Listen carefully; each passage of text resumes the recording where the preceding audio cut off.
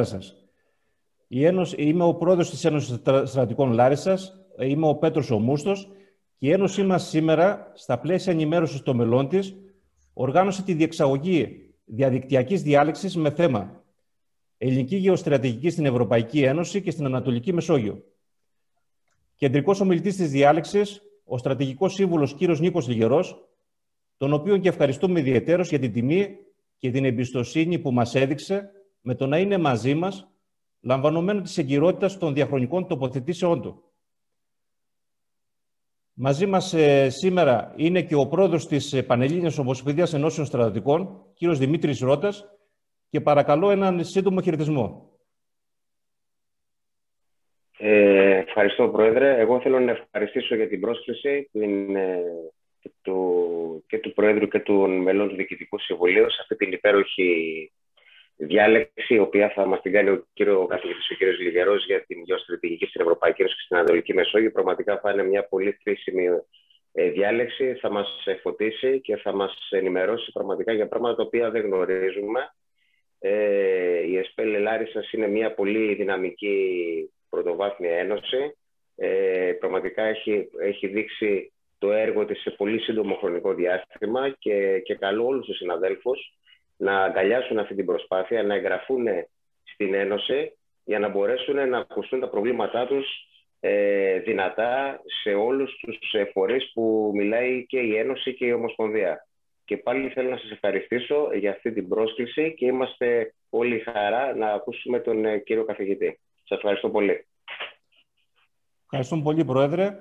Ακολούθως ε, θα πάρει το λόγο ο γραμματέας της Ένωσης, ο κύριος Αποστόλης Θεός, ο οποίος θα διαβάσει ένα σύντομο βιογραφικό του κυρίου καθηγητή, καθώς και χαιρετισμούς από προσκεκλημένους στη σημερινή διάλεξη, οι οποίοι δεν μπόρεσαν να παρεδεθούν. Ο λόγος στον κύριο Αποστόλη Θεό.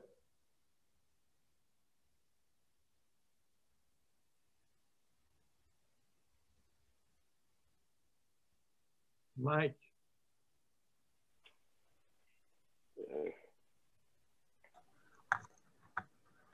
Καλησπέρα σας και από μένα.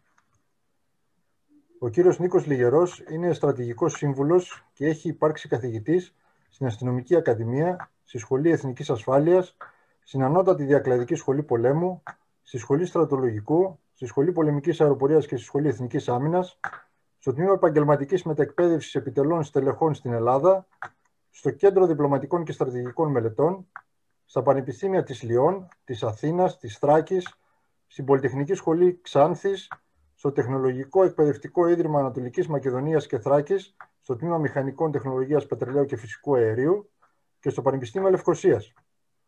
Ω ερευνητής έχει ασχοληθεί με τους τομείς της άλγευρας, της θεωρίας, αριθμών και συνδυαστικής. Ανήκει στις ομάδες των ερευνητών που ανακάλυψαν το 1998 10 πρώτους διαδοχικούς αριθμούς σε αριθμητική πρόοδο και το 2010 την έκτη λύση της εξίσωσης του Ραμανούντζαν. Χαιρετιστήριο μήνυμα απέστειλε ο Υπουργός Δικαιοσύνης και βουλευτής Καρδίτσας της Νέας Δημοκρατίας κ. Κωνσταντίνος Τσιάρας, ο οποίος λόγω ανελημμένων υποχρεώσεων δεν μπορεί να συμμετάσχει ζωντανά στη διαδικτυακή μας εκδήλωση και μας εύχεται, μας εύχεται καλή επιτυχία. Χαιρετιστήριο μήνυμα απέστειλαν επίσης ο αρχηγός τακτικής αεροπορίας αντιπτέραρχος υπτάμενο Μιστοκλή Μπουρολιάς και ο διευθυντής Α κλάδου αρχηγείου τακτικής αεροπορίας ταξίαρχος υπτάμενο Γεώργιος Αγορογιάννης. Παρακαλώ, κύριε Πρόεδρε. Ευχαριστώ πολύ, Απόστολε. Επίσης, να τονίσουμε ότι κατά τη διάρκεια live streaming στην ε, ομάδα μας στο Facebook, στα φίλοι και μέλη της ΕΣΠΕΛ, τα μέλη μας έχουν δυνατότητα να υποβάλουν σε, σε πραγματικό χρόνο τις ερωτήσεις τους προς τον κύριο καθηγητή, τις οποίες θα συλλέξουμε και θα τις υποβάλουμε στο τέλος της παρουσίασης του θέματος. Επίσης, μαζί μας είναι και ο συνάδελφος, ο Βαγγέλης Οτσόγκας, ο αντιπρόσωπος στην Πανελλήνια Ομοσπονδία Ενώσεων Στρατικών. Καλησπέρα, Βαγγέλη, και σε σένα. Καλησπέρα. Και... Θέλω και να καλωσορίσω τον κύριο καθηγητή στην παρέα μας. Τι μας μας κάνει να συζητήσουμε απόψε για τα θέματα που μας ενδιαφέρουν αρκετά σε σχέση με την γεωστρατηγική. Ωραία. Ο λόγος πλέον στον κύριο καθηγητή. Κύριε καθηγητά, ευχαριστούμε πάρα πολύ σήμερα. Είναι ιδιαίτερη τιμή που μας κάνετε. Ο λόγος σε εσάς. Εγώ σας ευχαριστώ γιατί ε, αποδεικνύεται ότι μπορεί ε, η Ένωση και με αυτή την κατάσταση ε, λόγω της τεχνολογίας και λόγω της εμβέλειάς της να οργανώσει μια τέτοια διάλεξη και να μπορούν οι άνθρωποι να παρακολουθήσουν τα δεδομένα της ελληνικής γεωστρατηγικής που ε, κάθε φορά μπαίνουν στην επικαιρότητα, μερικές φορές μπαίνουν με έναν ρηχό τρόπο, άλλες με έναν βαθύ. Εδώ θα το εξετάσουμε διεξογικά και έτσι θα μπορούμε να δούμε τα στοιχεία που αφορούν άμεσα την Ελλάδα. Άρα ε, κάτι που δεν επιμένω, δεν εξηγώ γιατί είμαστε σε ένα κοινό που είναι γνώσης. Ε, κάθε φορά που θα μιλάω βέβαια για στρατηγική θα εννοώ ότι είμαστε πάνω από το επιστηλιακό και πάνω από την τακτική. Θα αναφέρομαι βέβαια και στην υψηλή στρατηγική. Την γεωστρατηγική θα την βάλω μέσα στο πλαίσιο της υψηλής στρατηγικής. Και όταν θα μιλάμε βέβαια για την Ελλάδα, δεν σημαίνει απαραίτητα ότι θα μιλάω για την Ελλάδα εντός των συνόρων, γιατί είμαστε και του ελληνισμού και ξέρουμε ότι έχουμε και άλλους ανθρώπους που παίζουν μαζί μας σε αυτό το πλαίσιο. Άρα θα μπορούσα να πω ότι θα το κάνω κάπως ασυμμετρικό. Θα έχουμε ένα τμήμα που αφορά την Ανατολική Μεσόγειο και ένα τμήμα που θα αφορά την Ευρωπαϊκή Ένωση. Είναι πάνω ένα θέμα πώς βλέπουμε την Ελλάδα μέσα σε αυτό το πλαίσιο. Αυτό που είναι καλό είναι να καταλάβουμε ότι μπαίνει και στα δύο, αλλά έχει βέβαια τα δικά της δεδομένα σε επίπεδο στρατηγικής και ακόμα και υψηλής στρατηγικής. Άρα το κλασικό παράδειγμα, ε, όταν το βλέπουμε με αυτόν τον τρόπο, παλαιότερα μιλούσαμε συστηματικά για τη σχέση που είχε η Ελλάδα με την Τουρκία Τώρα έχουμε νέα δεδομένα. Δεν περιοριζόμαστε σε αυτό το πλαίσιο που θα ήταν ένας άξονας από την άλλη πλευρά. Η Ελλάδα τώρα παίζει ε, συστηματικά με την Ευρωπαϊκή Ένωση, άρα μιλάμε τώρα και για τον πυρήνα στις Βρυξέλλες, αλλά βέβαια δεν πρέπει να ξεχάσουμε, γιατί εδώ υπάρχει κάτι το κοινό, και με το ΝΑΤΟ, και θα δούμε πώς αυτά τα δεδομένα θα επηρεάσουν την περιοχή. Το άλλο που έχουμε συνηθίσει να ακούμε είναι ότι μιλάμε πιο πολύ για την Ελλάδα του Αιγαίου. Η Ελλάδα του Αιγαίου είναι μια λεπτομέρεια σε επίπεδο υψηλής στρατηγικής και αυτό έχει ενδιαφέρον γιατί παλαιότερα, πριν μερικά χρόνια, μας ρωτούσαν ας πούμε, αν τα νησιά μας είναι στο Αιγαίο ή στη Μεσόγειο και πολλοί από τους δικούς μας δεν ήξεραν πώς να απαντήσουν σωστά. Αυτό που έχει σημασία είναι ότι η Ελλάδα έτσι όπως είναι, είναι η Ελλάδα του 1947, που σημαίνει ότι ενεργοποιείται η συνθήκη Παρισίων, άρα ξέρουμε πολύ καλά τι σημαίνει π.χ. για τα Δωδεκάνησα. Η Ελλάδα παραδοσιακά παίζει στην Ανατολική Μεσόγειο με την Κύπρο. Η Κύπρος όμως είναι μόνο ένας παίχτης, ε, είναι ένας παραδοσιακός σύμμαχος για μας με μια μορφή ασυμμετρίας. Τώρα βλέπουμε ότι χάρη στην Κύπρο έχουμε μια άμεση πρόσβαση και στο Ισραήλ, έχουμε πρόσβαση στον Λίβανο,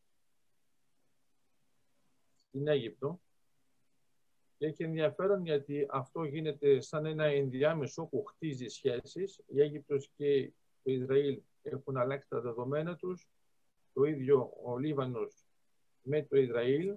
Αυτό σημαίνει ότι στην περιοχή υπάρχει ήδη μια βεντάλια η οποία είναι ε, θετική, έχει διαμορφωθεί διαφορετικά.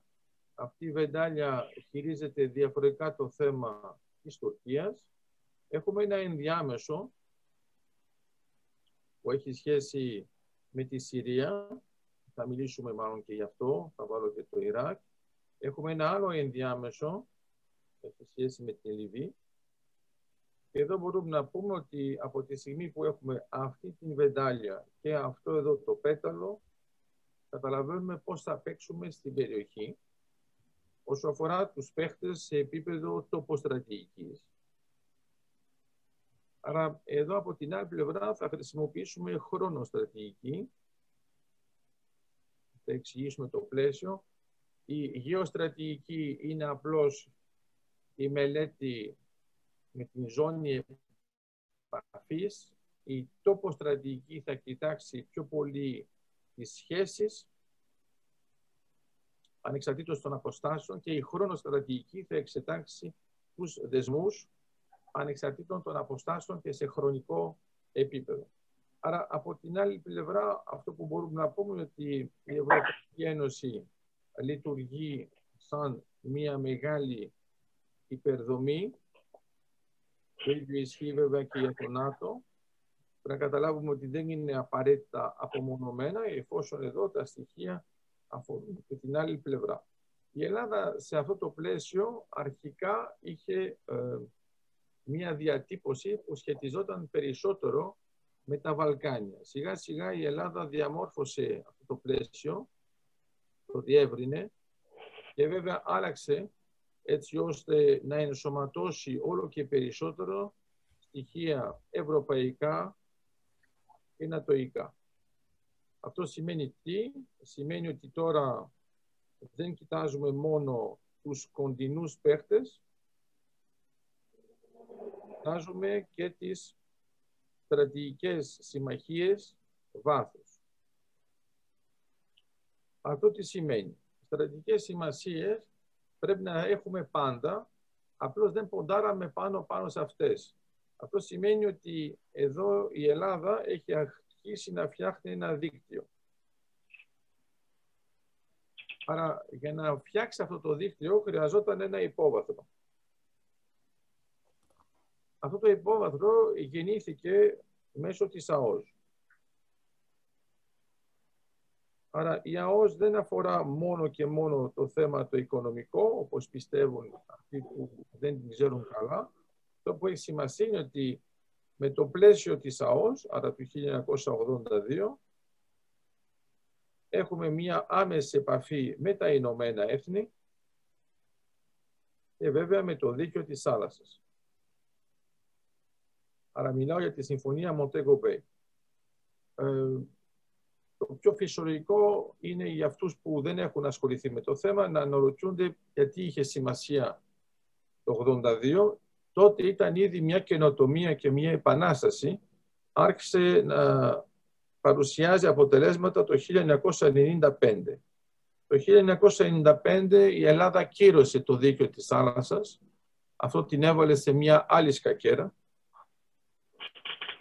και επίσης είναι την ίδια χρονιά που ε, δημιούργησε τον νόμο περί υδρογονανθράκων που προβλέπει τι γίνεται σε επίπεδο ενεργειακό, στρατηγικό και βέβαια οικονομικό. Άρα το 82 θα μπορούσε να πούμε ότι είχαμε μια τυπική υπογραφή το 1995 έχουμε μια επίσημη κύρωση και από εκεί και πέρα αρχίζει μια διαδικασία η οποία θα ενεργοποιηθεί επί του ουσίας μετά το 2010.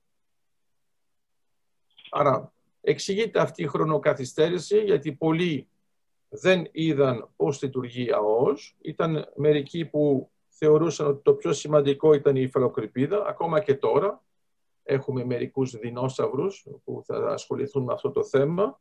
Είναι άλλοι για πιο πολύ το στρατιωτικό πλαίσιο κοίταζαν αποκλειστικά το κάστους Μπέλη με τα 12 ναυτικά μίλια και το θέμα της επέκτασης και είναι σπάνιο ε, όσο αφορά τον τρόπο σκέψης να βρούμε ανθρώπους που κατάλαβαν αμέσως ότι η ΑΟΣ η ΑΟΣ θα επιτρέψει να περάσουμε πέρα από το πρόβλημα της υφαοκρηπίδας και να ανατρέψουμε ακόμα και το κάσους μπέλι χωρίς να μιλάμε ακόμα για επέκταση.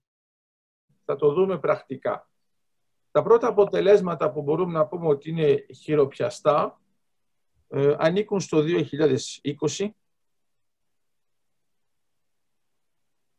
Για ποιο λόγο, γιατί υπήρχαν αποτελέσματα από το 1977. Είχαμε μια συμφωνία υφαλοκρηπίδας με την Ιταλία. Άρα η λεγόμενη συμφωνία με τα 17 σημεία. Αυτή η συμφωνία έγινε με το προηγούμενο δίκαιο της θάλασσας. Άρα αυτό σημαίνει όμως ότι είχαμε ήδη ένα συμμαχικό πλαίσιο. Είχαμε αρχίσει μετά συζητήσεις το 2013 αποκλειστικά για το θέμα της ΑΟΣ. Θέλαμε να αποφύγουμε το πρόβλημα της Τινησίας που είχε η Ιταλία με την Τινησία και την διαφοροποίηση υφαλοκρηπίδας ΑΟΣ. Περάσαμε λοιπόν αυτά τα χρόνια, είχαμε ένα ενδιάμεσο, γιατί όλα αυτά στην Ελλάδα σχετίζονται και με τα ε, πολιτικά. Πάνω η εθνική στρατηγική υλοποίησε σε αυτό το τομέα το 2020. Άρα πρώτα απ' όλα έκτισε μια γέφυρα. Αυτό είναι το πρώτο πράγμα που μπορούμε να πούμε. Αυτή η γέφυρα θα αφορά το Ισραήλ, την Κύπρο, την Ελλάδα, με μία επέκταση προς την Ιταλία για το μέλλον. Αυτή η πρώτη κίνηση που είναι σημαντική είναι η συμφωνία για τον αγωγό EastMed. Αυτό είναι σημαντικό γιατί για πολλά χρόνια, όπως το ξέρετε όλοι σας, ε, πολλοί θεωρούσαν ότι ο αγωγός EastMed είναι κάτι που δεν θα γίνει ποτέ. Θεωρούσαν ότι απλώς θα είναι μια ονομασία γιατί όπως ξέρετε οι αγωγοί έχουν διάφορα θέματα. Το πρώτο θέμα που έχουν είναι το καλό. Οι αγωγοί δεν μετακινούνται. Το δεύτερο που είναι κακό, όπως έλεγε ένας ειδικός Έλληνας στο Τέξας, είναι ότι επειδή δεν μετακινούνται είναι και αυτό ένα πρόβλημα. Και τελικά καταφέραμε να δημιουργήσουμε ένα συμμαχικό πλαίσιο με την Κύπρο και το Ισραήλ Υπάρχει μάλιστα και μια καινοτομία σε αυτόν τον τομέα, εφόσον το Ισραήλ δεν έχει υπογράψει το δίκαιο της θάλασσας, αλλά έχει δεχτεί η συμφωνία EastMed να είναι στο πλαίσιο του δικαίου της θάλασσας. Αυτό πρέπει να το πούμε ότι είναι ένα επίτευγμα από την πλευρά της Ελλάδος και της Κύπρου, γιατί άμα η συμφωνία αφορούσε μόνο την Ελλάδα και την Κύπρο θα ήταν αυτονόητο. Όταν βάζεις έναν τρίτο παίχτη και αυτός δέχεται το δίκαιο της θάλασσας, που έχει υπογράψει ήδη 7 χρόνια πριν από εμάς η Κύπρος, γιατί δεν άνοιγε τότε στην Ευρωπαϊκή Ένωση, αυτό μας δίνει ένα πλαίσιο. Από εκεί και πέρα τα πράγματα άρχισαν να πηγαίνουν πιο γρήγορα και αυτό ε, έγινε με τη συμφωνία οριοθέτησης με την Ιταλία όσο αφορά την ΑΟΣ. Θα το δείξουμε και αυτό, απλώς εδώ τώρα θέλω να κοιτάξω πιο πολύ τη μεγάλη εικόνα αυτή η συμφωνία οριοθέτησης πρέπει να φανταστείτε ότι περιμέναμε από το 1977 να περάσουμε σε αυτό το στάδιο μετά το 82. Είχαμε το ενδιάμεσο του 2013. Είχαμε τα προβλήματα του 2009 με την Αλβανία και θέλαμε να αποφύγουμε. Τελικά υλοποιήθηκε και έχουμε ακριβώς τα ίδια 17 σημεία στα οποία θα αναφερθούμε και ε, με ακρίβεια. Στη συνέχεια θα σας δείξω και το PowerPoint. Αυτό επηρέασε πάρα πολύ μια μερική συμφωνία οριοθέτησης με την Αίγυπτο αυτή τη φορά, αλλά και η Αίγυπτος είναι ένας πολύ σημαντικός παίχτης στην περιοχή, ο λόγω της ενέργειας, λόγω του φυσικού αερίου και λόγω βέβαια των αναγκών της Ευρωπαϊκής Ένωσης. Γιατί μην ξεχνάμε ότι ήδη από το 2012 συζητούσαμε σε επίπεδο Ευρωπαϊκής Ένωσης μέχρι το 2013 με έναν ξεκάθαρο τρόπο. Αναφέρομαι τώρα στα άθρα 76 και 77 του ε, ενεργειακού οδικού κώδικα που αφορά το τι θα κάνει η Ευρωπαϊκή Ένωση από 2020 μέχρι 2050 και εκεί πέρα εμφανίστηκε για πρώτη φορά η λέξη ΑΟΣ στην Ευρωπαϊκή Ένωση με μία παρότριση. Τα κράτη που διαθέτουν Ευρωπαϊκή ΑΟΣ, δηλαδή ουσιαστικά εθνική ΑΟΣ που μπαίνει μέσα στην Ευρωπαϊκή Ένωση, να μπορούν να κάνουν έρευνες και εξόριξη επιτόπου, γιατί αυτό αφορά την στρατηγική ενεργειακή ασφάλεια της Ευρώπης. Άρα, μερικά δεδομένα, ε, η Ευρωπαϊκή Ένωση είναι η τρίτη δομή στον κόσμο όσο αφορά τον πληθυσμό, μετά την Κίνα και την Ινδία. Είναι όμως ο πρώτος καταναλωτής σε ενέργεια και είναι επίσης η πρώτη οικονομική δύναμη, παρόλο που αυτό συνήθως οι Ευρωπαίοι δεν το ξέρουν. Αυτό που σημαίνει τι πρακτικά, σημαίνει ότι έχει ανάγκες όσο αφορά την ενέργεια, παίζει με τους άλλους και γι' αυτό το πλαίσιο του αγωγού Ιστμέντ ήταν πάρα πολύ θετικό και γι' αυτό το χαιρέτησε αμέσως η Ευρωπαϊκή Ένωση και για όσους δεν το ξέρουν, γιατί μερικές φορές μιλάμε για αυτά που έχουμε πετύχει αλλά δεν ξέρουμε με ποια βοήθεια, είναι ότι το συμβόλαιο και ουσιαστικά όλη τη συμφωνία που κάναμε σε πολλαπλό επίπεδο έγινε με την βοήθεια του Ευρωπαϊκού Επιτελείου. Άρα έχει ενδιαφέρον γιατί έχουμε τρεις χώρες, δύο στην Ευρωπαϊκή Ένωση, μία που είναι εκτός, αλλά αυτοί που έγραψαν τα περισσότερα έγγραφα είναι κατευθείαν της Επιτροπής της Ευρωπαϊκής Ένωσης, γιατί ήξεραν ότι είναι σημαντικό. Γιατί είναι σημαντικό, γιατί μετά από την Ελλάδα ερχόμαστε στην Ιταλία, που έχει το μεγαλύτερο δίκτυο όσο αφορά το φυσικό αέριο και αυτό σημαίνει ότι μπορούμε να παίξουμε μέσω Μεσογείου. Αυτός εδώ είναι ένας ενεργειακός χάρτης που είναι σημαντικός και παρατηρούμε ότι ενεργοποιείται και με την Ιταλία και με την Αίγυπτο. Άρα η Αίγυπτος έρχεται να συμφωνήσει κατευθείαν με την Ελλάδα, αλλά ταυτόχρονα ενεργειακά παίζει με το Ισραήλ και με την Κύπρο και ταυτόχρονα η Αίγυπτος παίζει με την Ιταλία. Διότι είναι η εταιρεία Eni που είναι κυρίαρχος παίχτης στην Αίγυπτο. Αυτό σημαίνει τι, σημαίνει ότι από τη στιγμή που ξέραμε ότι στην Κύπρο είχαμε την εταιρεία Nobel. Η εταιρεία Nobel ε, έκανε με την Delec και Avner κινήσεις. Τώρα έχουμε την Exxon Mobil. Θα τα δούμε πιο αναλυτικά. Έχουμε βέβαια την Eni, αλλά την Exxon Mobil από την Αμερική, την Eni από την Ιταλία και την Total από την Γαλλία. Όλοι αυτοί οι παίχτες έχουν στην υψηλή του στρατηγική την Ανατολική Μεσόγειο. Κάτι το οποίο ήταν εντελώς αδιανόητο, θα μπορούσαμε να πούμε πριν 20 χρόνια. Έγινε κάτι το ορατό πριν 10 χρόνια και τώρα είναι μια πραγματικότητα. Σε αυτό το πλαίσιο λοιπόν τι κάναμε; Εμείς αρχίσαμε να κάνουμε κινήσεις ε, διπλωματικές και στρατηγικές σε όλα τα μέτωπα Άρα βλέπουμε ότι τα αποτελέσματα που είχαμε με την Ιταλία, τα αποτελέσματα που είχαμε με την Αίγυπτο, η κίνηση με το Ισραήλ και την Κύπρο, στη συνέχεια οι επαφές ε, με την Ευρωπαϊκή Ένωση και πώς μπορεί όλο αυτό το πλαίσιο να ενεργοποιηθεί, δημιούργησαν αυτό που είπαμε ένα δίκτυο και αυτό το δίκτυο είναι πιο ανθεκτικό στις επιθέσεις. Αυτό έχει μεγάλη σημασία όταν θέλουμε να κάνουμε δεσμούς. Οι δεσμοί θα είναι στρατηγικές συμμαχίες οι οποίες θα μπορούν να περάσουν δεκαετίες. Θα δίνω ένα παράδειγμα. Ένας αγωγός φτιάχνεται σε μερικά χρόνια και λειτουργεί για δεκαετίες. Οι συμφωνίες που γίνονται πάνω στους αγωγούς είναι οι πιο ισχυρές συμφωνίες γιατί υπάρχουν τι κοινά συμφέροντα. Η Ελλάδα για πολλά χρόνια θεωρούσε ότι ε, έπρεπε να βασίσει τα στρατιωτικά της δεδομένα και τη στρατηγική της μόνο και μόνο πάνω στην έννοια του δικαίου. Αυτό θα μπορούσαμε να πούμε ότι είναι φιλότιμο, αλλά πρακτικά στην γεωπολιτική δεν λειτουργεί.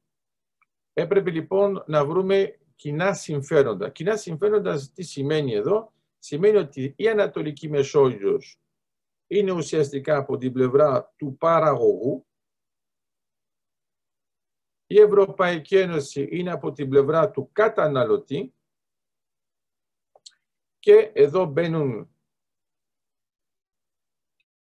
οι Ηνωμένες Πολιτείες Αμερικής, οι οποίες είναι και μέσα στο ΝΑΤΟ, έχουν συμφέροντα και στην Ευρωπαϊκή Ένωση και σου λέει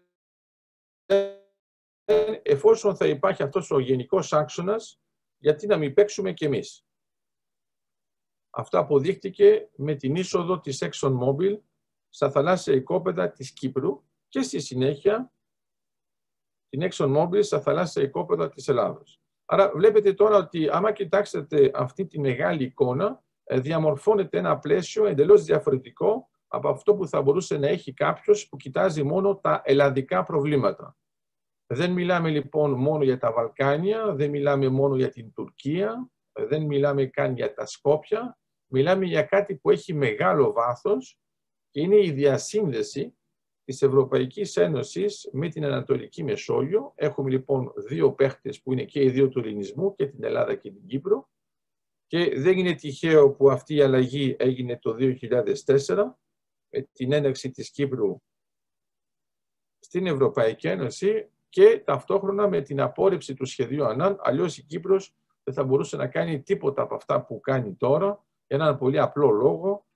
Πολλά κομμάτια της ΑΟΣ της δεν θα ήταν η διοκτησία της εφόσον μέσω του σχεδίου ΑΝΑΝ θα είχαν περάσει στην Αγγλία.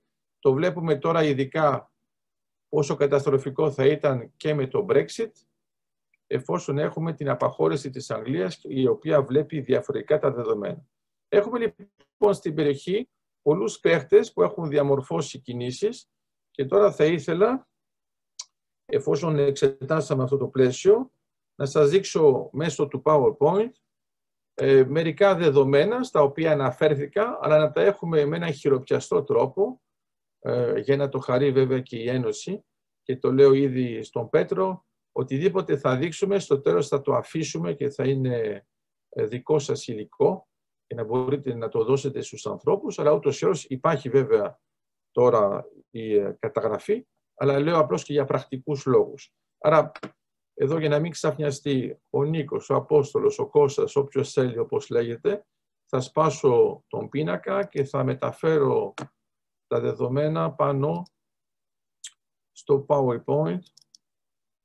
Άρα εδώ τώρα το βλέπετε κανονικά. Άρα αυτά που είπαμε τώρα θα τα δούμε σε πρακτικό επίπεδο για να υπάρχει και μια πραγματικότητα. Αυτό που βλέπετε τώρα είναι η κατάσταση η τωρινή όσο αφορά την Ελλάδα και είναι η επίσημη δημοσίευση του Υπουργείου Περιβάλλοντος και Ενέργειας. Άρα βλέπετε ακριβώς πώς παίζουν τα πράγματα στην περιοχή και είναι πράγματα τα οποία ήταν αδιανόητα πριν μερικά χρόνια. Σας υπενθυμίζω ότι η πρώτη φορά που βγάλαμε εμείς θαλάσσια οικόπεδα ήταν το 2014. Πριν ήταν κάτι το αδιανόητο και πολύ συχνά ακούγαμε τους ίδιους που πάνω κάτω κινδυνολογούν ακόμα και τώρα ότι ούτως ή δεν έχουμε απολύτως τίποτα και δεν το συζητάμε. Η πραγματικότητα απέδειξε ότι ήταν λάθος και τώρα το βλέπουμε με ε, τα δεδομένα που θα ανακαλύψουμε σιγά σιγά. Αυτό που πρέπει να δούμε τώρα είναι το επίσημο κείμενο της συμφωνίας με την Ιταλία, ε, η οποία συμφωνία έγινε στις 9 Ιουνίου του 2020. Ε, μην ξεχνάμε ότι αυτό έγινε χάρη στην παρέμβαση του αγωγού Istmed, όπου η Ιταλία έχει κοινά συμφέροντα λόγω και της κατασκευής του αγωγού Ποσειδώνα. Ε, σε αυτό το πλαίσιο μπορούμε να πούμε, νομίζω τώρα φαίνεται αρκετά καλά, ότι έχουμε τα κλασικά που ξέρετε. Εδώ έχουμε τις, ε, τα 16 σημεία που είναι ακριβώς τα ίδια από το 77. Η οριοθέτηση πηγαίνει από τον βορρά προς τον νότο. Σας τα δείχνω με τις υπογραφές ε, των αρμοδίων. Ε, έχουμε ακριβώς το ίδιο κείμενο στα ελληνικά και στα αγγλικά για να υπάρχουν στοιχεία και να είμαστε σίγουροι για το τι έγινε. Τώρα θα χρειαζόμαστε χάρτες, γιατί επειδή είμαστε σε στρατιωτικό πλαίσιο, καλύτερα να έχουμε χάρτες και όχι μόνο κείμενο. Απλώς υπενθυμίζω ότι το κείμενο είναι αυτό που υπερισχύει πάνω στο χάρτη. Εδώ βλέπετε λοιπόν τα σημεία, τα βλέπετε επίσης ενωμένα. Έχει ενδιαφέρον γιατί είναι πράγματα τα οποία δυσκολευόμαστε να δούμε τα μεγέθη, αλλά σας δίνω ένα παράδειγμα. Από τη στιγμή που είμαστε σε αυτό το πλαίσιο, πρέπει να καταλάβουμε ότι τώρα η Ελλάδα μπορεί να διαχειριστεί πάνω από 100.000 τετραγωνικά χιλιόμετρα μέσα στη θάλασσα όσο αφορά το θέμα της ΑΟΣ.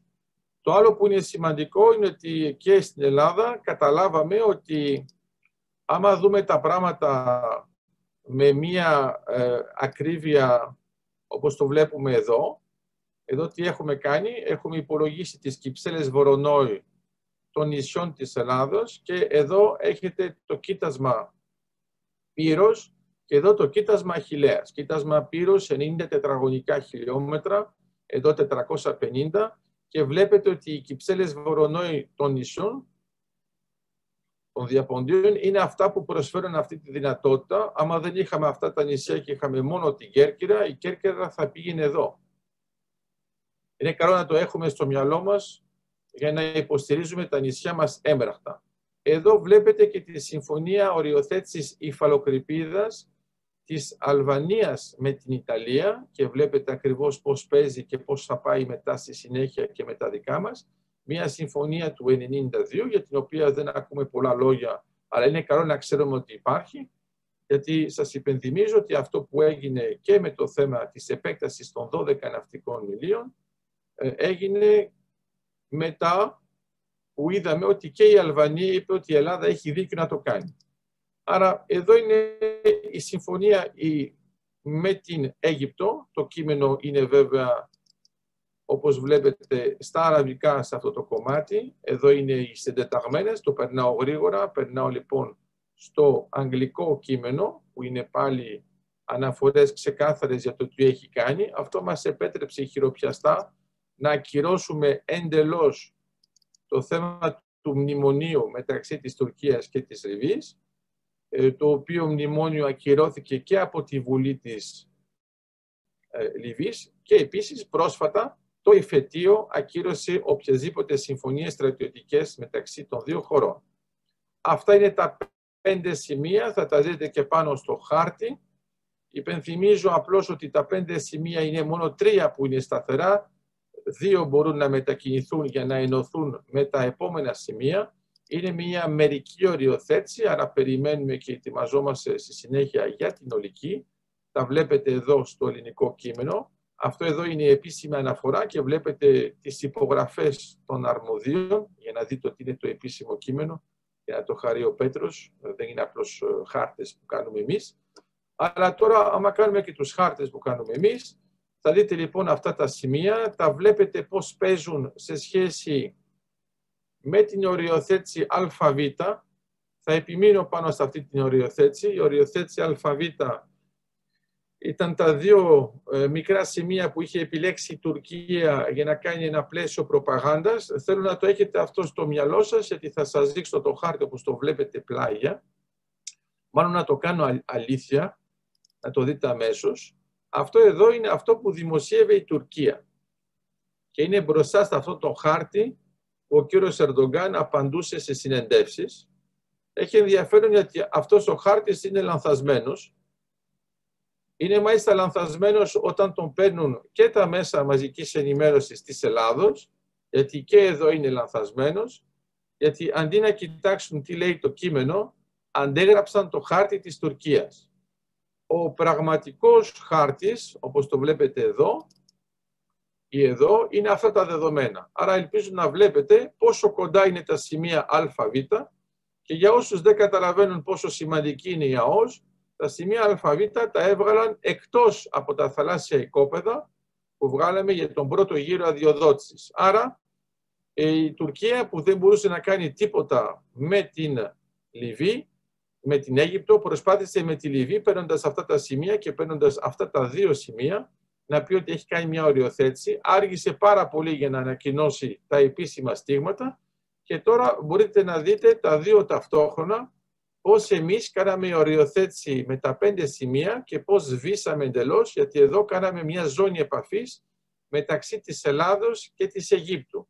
Άρα η ζώνη επαφής που ήθελαν να κάνουν οι Τούρκοι μεταξύ της Τουρκίας και της Λιβύης ε, κατέρευσε εντελώς ακόμα και επικοινωνιακά. Αλλά είναι καλό να θυμάστε αυτούς τους χάρτες γιατί ανήκουν στους χάρτες που φόβησαν πολλούς Έλληνες χωρίς λόγο γιατί όταν βλέπουμε την αλήθεια με τους χάρτες καταλαβαίνουμε πώς έγινε. Ένα άλλο πράγμα που είναι πολύ σημαντικό είναι τι έγινε τώρα με την επέκταση. Πολλοί από εμάς δεν καταλάβαν ότι η επέκταση γίνεται τώρα ενώ έχουμε ακόμα κάστους μπέλη από την Τουρκία. Το κάστους μπέλη της Τουρκίας είναι από το 1995, δεν έχει γίνει άρση και το κάστους μπέλι θεωρητικά αφορά οποιαδήποτε περιοχή της Ελλάδος, δηλαδή με την έννοια της κυριαρχίας. Έχει μεγάλη σημασία ότι στο άρθρο 1 υπάρχει μια αναφορά για το πώς θα συνεχίσει η Ελλάδα να κάνει αυτή την άσκηση και στις λοιπές περιοχές της επικράτειάς της και αυτό είναι σημαντικό σημείο γιατί αυτό είναι μια προετοιμασία για το μέλλον και μάλιστα άμεσο μέλλον γιατί ήδη ετοιμαζόμαστε για τα θέματα με την Κρήτη. Εδώ βλέπετε τις συντεταγμένες και πώς κλείνουμε τους κόλπους και πώς βάζουμε τις ευθείες γραμμές πάνω στα φυσικά σημεία. Εδώ είναι ο γενικός κατάλογος που είναι επίσημος και τώρα θα σας δείξω μερικά πράγματα. Άρα να θυμάστε ότι περάσαμε από προεδρικό διάταγμα, από το Συμβούλιο Επικρατείας, μετά Επιτροπή και μία ψηφοφορία στην Βουλή, όπου είχαμε 284 βουλευτές που υπερψήφισαν την επέκταση, ενώ είμαστε στη φάση κάσους μπέλη. Αυτό κανονικά ένας κλασικός στρατιωτικός, άμα του έλεγαν το 1995 ότι το 2021, παρόλο που υπάρχει κάσους μπέλη, θα κάναμε επέκταση οριοθέτησης, δεν νομίζω να το πίστευε. Όμως έγινε και το πιο όμορφο είναι ότι παρόλο που έγινε, άρα μιλάμε για αυτά τα δεδομένα, έχουμε λοιπόν αρχίσει να μιλάμε για αυτήν εδώ την περιοχή, άρα είναι ήδη ένα θέμα. Σε πιο μεγάλη εικόνα βλέπετε ακριβώς πώς θα είναι η επέκταση όταν αυτή θα γίνει παντού. Και τώρα το ερώτημα είναι σε πρακτικό επίπεδο αυτό που πετύχαμε τι σημαίνει. Άρα κοιτάξτε τώρα τους χάρτες που παίζουμε από κοντά. Αυτό είναι τα σημεία πώς ενώνονται από το επίσημο κείμενο. Το βλέπετε και εδώ. Επιμένω πάνω σε αυτήν εδώ τη γραμμή. Άρα φαίνεται να είναι μια λεπτομέρεια για όσους τα πιάνουν αμέσως και είμαι σίγουρος ότι υπάρχουν ειδικοί. Το γεγονός ότι κλείνουμε αυτόν τον κόλπο αυτό θα επηρεάσει την επόμενη συμφωνία με την Αλβανία. Η συμφωνία που υπογράψαμε τώρα και ο νόμος που περάσαμε λέει ότι η συμφωνία, ο νόμος δεν μπορεί να ανατρέψει καμία συμφωνία που έχουμε επικυρώσει, άρα δεν αλλάζει τίποτα με την Ιταλία και με την Αίγυπτο, όσοι, ό,τι έχουμε επικυρώσει, δηλαδή μιλάμε για τη μερική. Άρα αυτό σημαίνει ότι προετοιμάζουμε το έδαφος και για την Αλβανία. Για να είναι πιο κατανοητό σε όλους, Τώρα επειδή υπάρχει αυτό το κλείσιμο, η ζώνη επαφής μεταξύ των δύο γίνεται από αυτό το κλείσιμο μέχρι τα όρια της Αλβανίας και όχι από εδώ. Αυτό είναι ένα τεράστιο θέμα γιατί επειδή υπάρχει καμπυλότητα της Κέρκυρας πρέπει εδώ πάνω κάτω να έχουμε δεκάδες σημεία μέχρι να συμφωνήσουμε που πάμε. Άρα εδώ σημαίνει ότι η επαφή Ελλάδος-Αλβανίας θα γίνει με αυτή την γραμμή. Και έχει ενδιαφέρον που όχι μόνο δεν είχαμε καμία παρατήρηση από την Αλβανία, αλλά έγινε ξεκάθαρα δεκτό και από την Αλβανία ότι είναι δικαίωμα της Ελλάδας να κάνει αυτή την επέκταση. Σας δίνω λοιπόν στους χάρτες πόσο σημαντικό είναι, γιατί αυτό θα αλλάξει εντελώς τις αποστάσεις στην περιοχή, γιατί μην ξεχνάμε ότι είμαστε σε πολύ κοντινό πλαίσιο και αυτό είναι καλό να το έχουμε στο μυαλό μας, γιατί ε, θα είναι ένα θέμα το οποίο αν δεν καταφέρουμε να κάνουμε μια διαπραγμάτευση μεταξύ των δύο χωρών, θα πάμε στο Διεθνές Δικαστήριο Δικαιοσύνης, αλλά είναι καλό να ξέρουμε ότι τώρα που το στήσαμε επίσημα και έχει ενδιαφέρον γιατί αυτές οι γραμμές δεν υπήρχαν στη συμφωνία του 2009, η οποία ήταν μια συμφωνία πολυπακέτο που αφορούσε τα σύνορα, το μειονοτικό, την υφαλοκρηπίδα και την ΑΟΣ. Εδώ τώρα μιλάμε αποκλειστικά για αυτά τα θέματα. Είναι καλό να τα έχουμε στο μυαλό μας για να σας δώσω ένα παράδειγμα, ειδικά για τα θέματα τα δικαστικά. Εδώ σας δίνω το παράδειγμα της απόφασης του 1982 στο Διεθνές Δικαστήριο Δικαιοσύνης. Έχουμε λοιπόν τη Μάλτα. Έχουν υπογράψει οι δύο χώρες με τη Λιβύη το δίκαιο της θάλασσας. Αποφασίστηκε ότι τελικά θα μετακινηθεί αυτή η μέση γραμμή και τελικά η Μάλτα έχασε το 1982 4.100 τετραγωνικά χιλιόμετρα. Είναι η πρώτη απόφαση που αφορά νησιωτικό χώρο με χώρο. Το ίδιο έγινε μεταξύ της Λιβύης και της Τινησίας. Όπως βλέπετε αυτό εδώ το νησί, η Λιβύη έλεγε ότι δεν έχει καθόλου υφαλοκρηπίδα, η Τινησία έλεγε ότι έχει, άρα οι δύο γραμμές, αυτή είναι εδώ η γραμμή, η κίτρινη, είναι αυτή που έλεγε η Λιβύη, αυτή εδώ η κίτρινη είναι αυτή που έλεγε η Τινησία και τελικά το δικαστήριο αποφάσισε την πράσινη. Αυτό σημαίνει ότι αυτό το νησί, Πέτρο μου, υπάρχει μόνο κατά 50%. Είναι καλό να τα έχουμε αυτές τις αποφάσεις στο μυαλό μας για να μην ακούμε διάφορα πράγματα και μετά να μην καταλαβαίνουμε τι γίνεται. Ένα άλλο πράγμα που έχει σημασία, ε, να σας δείξω κάτι που δεν μπορεί να γίνει. Σε κάποια φάση η Λιβύη αποφάσισε να πει ότι θα κλείσει αυτό τον κόλπο Σύρτης. Αυτό δεν επιτρέπεται από το δίκαιο της θάλασσας και αν το είχε κάνει θα είχε πάρει αυτές τις τρεις περιοχές από την Ελλάδα, από ε, την Μάλτα και βέβαια από την Ιταλία.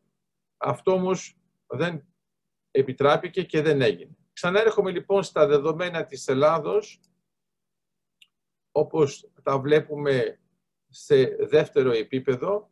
Είναι καλό να φανταστούμε ότι όταν κοιτάζουμε όλους αυτούς τους παίχτες που έχουν έρθει στην περιοχή, καταλαβαίνουμε ότι δεν είναι πια μόνο μία αντιπαράθεση μεταξύ της Ελλάδος και της Τουρκίας. Όλοι αυτοί οι παίχτες που βλέπετε έχουν υπογράψει με την Ελλάδα και με την ε, Κύπρο. Είναι ενδιαφέρον να έχουμε την Ιταλία και την Κορέα. Στη συνέχεια έχουμε μαζί και την Γαλλία. Ε, βλέπουμε επίσης το Κατάρ με την Αμερική και αυτό έχει σημασία γιατί παραδοσιακά το Κατάρ είναι φιλικό προς την Τουρκία αλλά όταν είναι για business, business. Όποιος κατάλαβε, κατάλαβε. Εδώ έχουμε το ανάλογο ε, ουσιαστικά με την Shell που έχει εξαγοράσει στοιχεία για να μπορεί να είναι στην περιοχή του κοιτάσματος Αφροδίτη. Έχουμε τώρα λοιπόν κοιτάσματα Αφροδίτη, Γλάφκο, Καλυψό, είναι τα δεδομένα που έχουμε ήδη και είναι υπαρκτά. Εμείς τώρα να το κοιτάξουμε, εδώ μιλάμε για τον τρίτο γύρο αδειοδότησης και ελπίζω να καταλαβαίνετε όλοι σας πόσο μεγάλη σημασία έχει σε σχέση με αυτά που αποφασίζουμε τώρα. Δηλαδή, τι έγινε; Πρώτα βγάλαμε αυτές εδώ τις περιοχές στο Ιόνιο και νότια της Κρήτης. Μετά βγάλαμε τις τρεις περιοχές Ιόνιο, Δυτικά Κρήτης και Νοτιοδυτικά Κρήτης. Και μετά βγάλαμε τον τρίτο γύρο αδειοδότησης με την πράσινη δομή. Αυτή η πράσινη δομή είναι ακριβώς τώρα εδώ στη ζώνη επαφής που έχουμε υπογράψει με την ΑΟΣ. Άρα δεν είναι τυχαίο καθόλου που ο Υπουργός Εξωτερικών μιλάει τώρα για την επέκταση στα 12 ναυτικά μίλια για την Κρήτη, έξω όχι μόνο από μία πλευρά, γιατί αυτό έχει το μεγαλύτερο ενδιαφέρον όσο αφορά την γεωστρατηγική σε ενεργειακό επίπεδο, γιατί καταλαβαίνουμε ότι λόγω των τεκτονικών πλακών τα μεγάλα κοιτάσματα βρίσκονται στο Ιόνιο και νότια της Κρήτης, όπως βρίσκονται και νότια της Κύπρου. Άρα όσοι έχουν έναν πόνο βαρύ τόσα χρόνια για το τι γίνεται στο Αιγαίο, στο Αιγαίο βέβαια δεν υπάρχουν μεγάλα στρατηγικά κοιτάσματα, όλα αυτά είναι έξω, λόγω της δομής της αφρικανικής πλάκας, η οποία βυθίζεται κάτω από την Ευρασιατική και δημιουργεί ζώνες σε όλη αυτή την περιοχή. Τα δεδομένα τώρα, άμα τα κοιτάξουμε και ε, μάλλον εδώ δεν το φαίνεται καλά, θα περάσουμε εδώ. Το πρώτο πράγμα που θέλω να παρατηρήσουμε, επειδή έχουμε και στρατιωτικό κοινό, αυτό που δεν είχαν παρατηρήσει πολλοί, είναι ότι ήδη από το 2014, όταν βγάλαμε τα θαλάσσια οικόπεδα, είχαμε πολλά οικόπεδα που έμπαιναν στο FIR των άλλων κρατών. Άρα εδώ μπαίναμε στο FIR Τυράννων, εδώ έχουμε Μπρίντιζη και Ρώμης, είχαμε ακόμα και της Μάλτας, είχαμε βέβαια Τρίπολης και Καΐρου. Καμία από αυτές τις χώρες δεν θεώρησε ότι ήταν λάθος που έβγαλε θαλάσσια οικόπεδα η Ελλάδα. Η Ελλάδα έκανε το εξής στρατήγημα. Δημοσίευσε τα θαλάσσια οικόπεδα στην Ευρωπαϊκή Ένωση χωρίς να τα δημοσιεύσει πρώτα μέσα από το δικό της το πλαίσιο, δηλαδή την επίσημη ε, την εφημερίδα της κυβέρνησης, αλλά τι έκανε; Ενεργοποίησε τον διαγωνισμό μέσω Ευρωπαϊκής Ένωσης και είπε ότι θα αρχίσει μόνο όταν θα δημοσιευθεί στην γαζέτα της Ευρωπαϊκής Ένωσης. Άρα είχαμε αυτόματα τους 28 που ήταν μαζί μας και μετά μέσα στο κείμενο ήταν γραμμένο ότι ο διαγωνισμός περιγράφεται εξ ολοκλήρου στην εφημερίδα της κυβέρνησης. Αλλά αυτό τι έκανε, έκανε ένα πολύ μεγάλο συμμαχικό πλαίσιο. Η Ελλάδα δεν ήταν απομονωμένη και ήταν αποδεκτό από όλη την Ευρωπαϊκή Ένωση σαν μια κίνηση εντός της Ανατολικής Μεσογείου. Τώρα, όταν κοιτάζουμε την κατάσταση που έχει διαμορφωθεί, ειδικά μετά το 2015, όταν βρέθηκε το κοίτασμα ΖΟΡ, που είναι υπεργιγαντιαίο, τώρα εμείς έχουμε κοιτάσματα στόχους, όπως το βλέπετε εδώ τα πράσινα, που είχαμε καταγράψει με τον Αντώνη Φόσχορο και τον Ηλία Κονοφάγο. Εδώ βλέπετε ξανά τα δεδομένα που είναι ο Πύρος και ο Αχιλέας και αυτό σημαίνει ότι ε, αμέσως εκδηλώθηκε ένα ενδιαφέρον για ποιο λόγο. Όλοι κατάλαβαν ότι μιλάμε για στρατηγικά κοιτάσματα. Πρακτικά τι σημαίνει, για να είμαστε ξεκάθαροι, όλοι ξέρουν το κοίτασμα που έχουμε στο κατάκολο. Το κατάκολο ενεργειακά είναι 15 μέρες ενεργειακής Ελλάδος. Ε, νότια της Κρήτης είμαστε σε 500 χρόνια ενεργειακής Ελλάδος. Αλλά αυτά τα δεδομένα αλλάζουν εντελώς την οπτική και κατάλαβαν τότε και οι μεγάλες εταιρείες και μαζί με τις μεγάλες εταιρείες οι μεγάλες δυνάμεις που παίζουν στην περιοχή, όπως είναι η Αμερική, όπως είναι βέβαια η Γαλλία, η Αγγλία, άρχισαν να ενδιαφέρονται όλο και πρακτικά. Αυτό είναι μια καινοτομία στον τομέα, γιατί είναι κοιτάσματα καρστικού ασβεστόλιθου, ενώ πριν κοιτάζαμε μόνο κοιτάσματα με ψαμίτες. Άρα βρήκαμε πάρα πολλά κοιτάσματα τέτοιου τύπου. Δεν είχαμε μόνο τα δεδομένα της PGS, αλλά στη συνέχεια είχαμε τα δεδομένα σε γενικό πλαίσιο είναι καλό να δείτε, ας πούμε, τι έκανε η Τουρκία το 2003 και το 2006 και στη συνέχεια το 2012. Εδώ βλέπετε, ας πούμε, περιοχές που η Τουρκία θεωρεί ότι είναι δικές της. Έχει ενδιαφέρον πώς τα διαμορφώνει, αλλά στην αρχή είχε βγάλει μόνο αυτές τις κόκκινες και πορτοκαλί. Στη συνέχεια πήγε μέχρι εδώ και σε κάποια φάση, εδώ ήμασταν το 2012, εμείς ξεκινήσαμε να κάνουμε τις επαφές σε επίσημο επίπεδο έτσι ώστε να σβήσουμε αυτά τα δεδομένα. Είναι καλό να έχουμε μια χαρτογράφηση της περιοχής. Βλέπετε εδώ ότι άμα βάλετε τα θαλάσσια οικόπεδα της Κύπρου, ε, μερικά στοιχεία της Αιγύπτου, αυτά που έχουμε βγάλει εμείς και στη συνέχεια, αυτά που έχει βγάλει η Αλβανία, το Μαυροβούνιο και η Βορσινία Ζεργοβίνη στη συνέχεια εδώ και μετά η Κροατία, θα δείτε ότι αυτό το κομμάτι που είναι το κίτρινο, μιλάμε πιο πολύ για κοιτάσματα πετρελαίου. Αυτό το κομμάτι που είναι το κόκκινο, μιλάμε για κοιτάσματα φυσικό αέριο. Αλλά το φυσικό αέριο είναι κάτι που ενδιαφέρει πάρα πολύ την Ευρωπαϊκή Ένωση, γιατί θεωρείται ότι είναι μια πράσινη ενέργεια, δεν είναι ανανεώσιμη ε, ενέργεια, αλλά είναι πράσινη με την έννοια ότι όταν και με το φυσικό αέριο έχουμε μόνο νερό και διοξίδιο του άνθρακα, άρα και με το μεθάνιο που είναι 30 φορές χειρότερο από το διοξίδιο του άνθρακα και αυτό σημαίνει ότι ποντάρουμε πάρα πολύ πάνω σε αυτό. Τα δεδομένα λοιπόν άρχισαν να αλλάζουν και γι' αυτό όταν βγάλαμε τα δεδομένα εδώ πρέπει να ξέρετε επίσης ότι ο νόμος περί υδρογονανθράκων προβλέπει ότι οι απολαβές του ελληνικού δημοσίου το 20% ουσιαστικά, δηλαδή ένα 5%, 25% στη συνέχεια, πάνε κατευθείαν στην περιφέρεια που βρίσκεται το κοίτασμα. Άρα ξαφνικά η περιφέρεια Ιωνίου, η περιφέρεια Πολεποννήσου και η περιφέρεια Κρήτης αναβαθμίστηκαν και μάλιστα έβαλαν μέσα και στο business plan και στο στρατηγικό plan που έχουν φτιάξει όλα αυτά τα ενεργειακά που δεν είχαν πριν. Όταν τα βλέπουμε με αυτόν τον τρόπο, καταλαβαίνουμε τι γίνεται και με το θέμα των αγωγών ουσιαστικά, ε, άμα κοιτάζουμε πώς πάνε τα πράγματα με τον αγωγό Ισμέντ, ο αγωγός Ισμέντ δεν ξεκινάει από μια χώρα, ξεκινάει από τα κοιτάσματα, άρα είναι σε αυτήν εδώ την περιοχή, παίζει με την Κύπρο, μετά η Κύπρος πηγαίνει προς την Κρήτη, Πελοπόννησο και ανεβαίνουμε προς το τακούνι της Ιταλίας, όπου υπάρχει ο μεγάλος παίχτης για το φυσικό αέριο, γιατί πρέπει να πούμε σε όλους ότι το φυσικό αέριο έχει ένα πρόβλημα, δομικό. Δεν είναι σαν το πετρέλαιο εκεί που το βρίσκεις με ίδια τιμή σε όλο τον κόσμο. Εξαρτάται από την απόσταση, από την πηγή και στον καταναλωτή. Άρα έχει μεγάλη σημασία να δούμε ότι τα αποθέματα μας επιτρέπουν να κάνουμε ακόμα και διπλό αγωγό και θα κάνουμε επίσης και τερματικούς σταθμούς. Η Κύπρος ξεκίνησε αυτή τη διαδικασία με σταθμούς LNG, δηλαδή υγροποιημένο φυσικό αέριο, το οποίο μας επιτρέπει να μεταφέρουμε με ένα καράβι την ανάλογη ποσότητα που θα μετέφεραν 600 καράβια αν δεν ήταν υγροποιημένος στους μείον 162 βαθμούς. Αυτό τι σημαίνει, σημαίνει ότι όλη αυτή η σκακέρα διαμορφώνεται, άρα ερχόμαστε στα παλιά, που ζωγραφίζαμε ήδη από το 2012.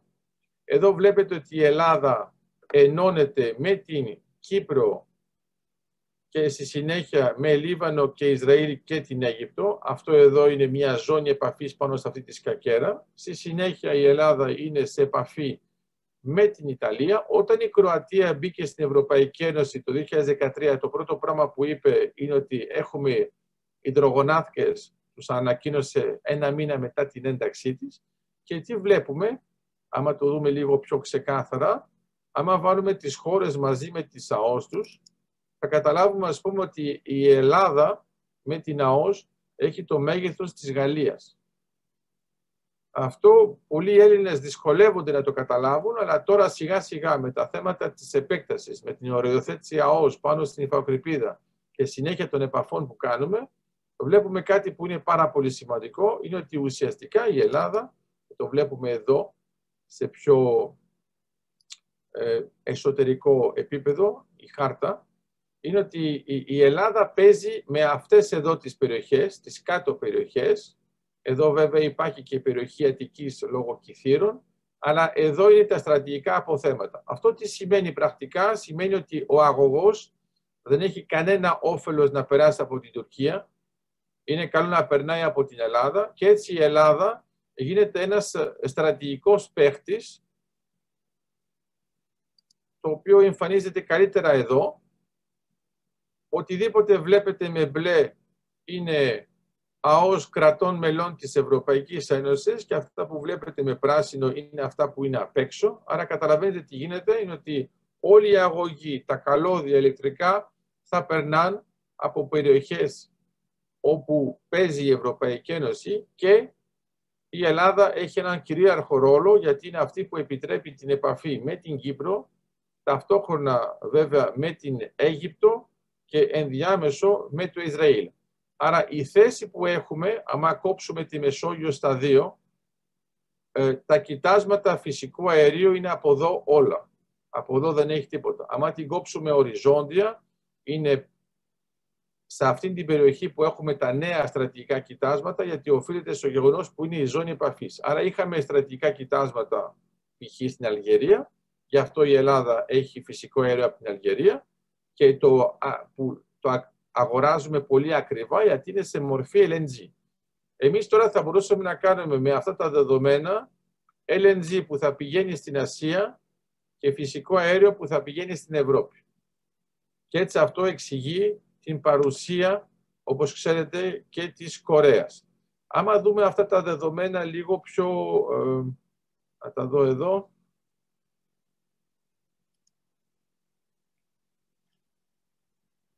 Έχουμε αυτούς τους μεγάλους άξονες, άρα είναι, αυτά είναι τα 12 ε, σημεία που είναι κυρίαρχα για τα ελληνικά δεδομένα. Βλέπουμε ότι το σημείο 1 και για τον Ευρωάζια Interconnector και το 11 που είναι ο EastMed και αυτή η ζώνη επαφής στο τακούν της Ιταλίας είναι ένα κυρίαρχο σύστημα που μας επιτρέπει να πούμε ότι αποφεύγουμε εξ ολοκλήρου την Τουρκία και κάτι που ξαφνιάζει και τα στρατιωτικά στελέχη, η Τουρκία θέλει δεν θέλει είναι εκτός ενεργειακής κακέρας.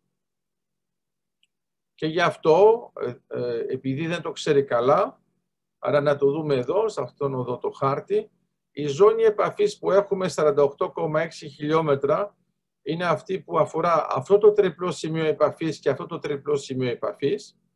Εμείς οτιδήποτε θα κάνουμε με αγωγούς και καλώδια θα περνάμε από αυτήν τη ζώνη και γι' αυτό έχει μεγάλη σημασία να παίξουμε πάνω σε αυτό και το τριπλό σημείο επαφής. Ένα άλλο πράγμα που έχει σημασία είναι ότι η ΑΟΣ είναι πιο μεγάλη από το FIR.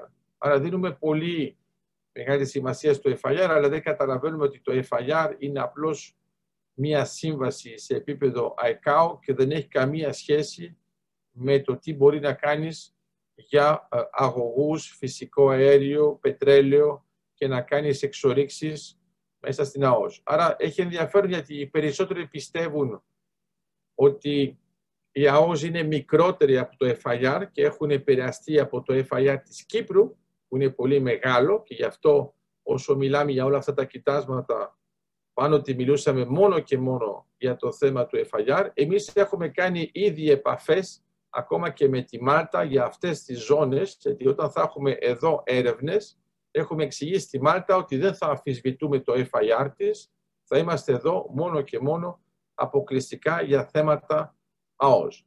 Είναι καλό να έχουμε στο μυαλό μας αυτό που σας έλεγα σε κάποια φάση, γιατί έκανα αναφορά, ε, για να έχετε μια άποψη όλοι σας. Αν είχε περάσει το σχέδιο ΑΝΑΝ, αυτή η ζώνη η κίτρινη και αυτή εδώ η ζώνη η ΜΟΒ θα ήταν αγγλικές ΑΟΣ. Και εντελώς τυχαία σημαίνει ότι η οριοθέτηση με την Αίγυπτο, με το Ισραήλ και με το Λίβανο, καμία από τις τρεις δεν θα μπορούσε να τις είχε πετύχει η Κύπρος. Άρα ευτυχώς είχαμε τον Τάσο Παπαδόπουλο που διευκρίνησε το όλο θέμα. Αυτό είναι για να έχετε λοιπόν μια μεγάλη εικόνα. Ας περάσουμε ξανά στη μεγάλη εικόνα όπως το ρίξαμε και στον πίνακα. Εδώ λοιπόν τι γίνεται. Βλέπουμε ότι όλη η Ανατολική Μεσόγειος και όχι πια η Μέση Ανατολή παίζει έναν κυρίαρχο ρόλο. Εμείς είμαστε στην περιοχή.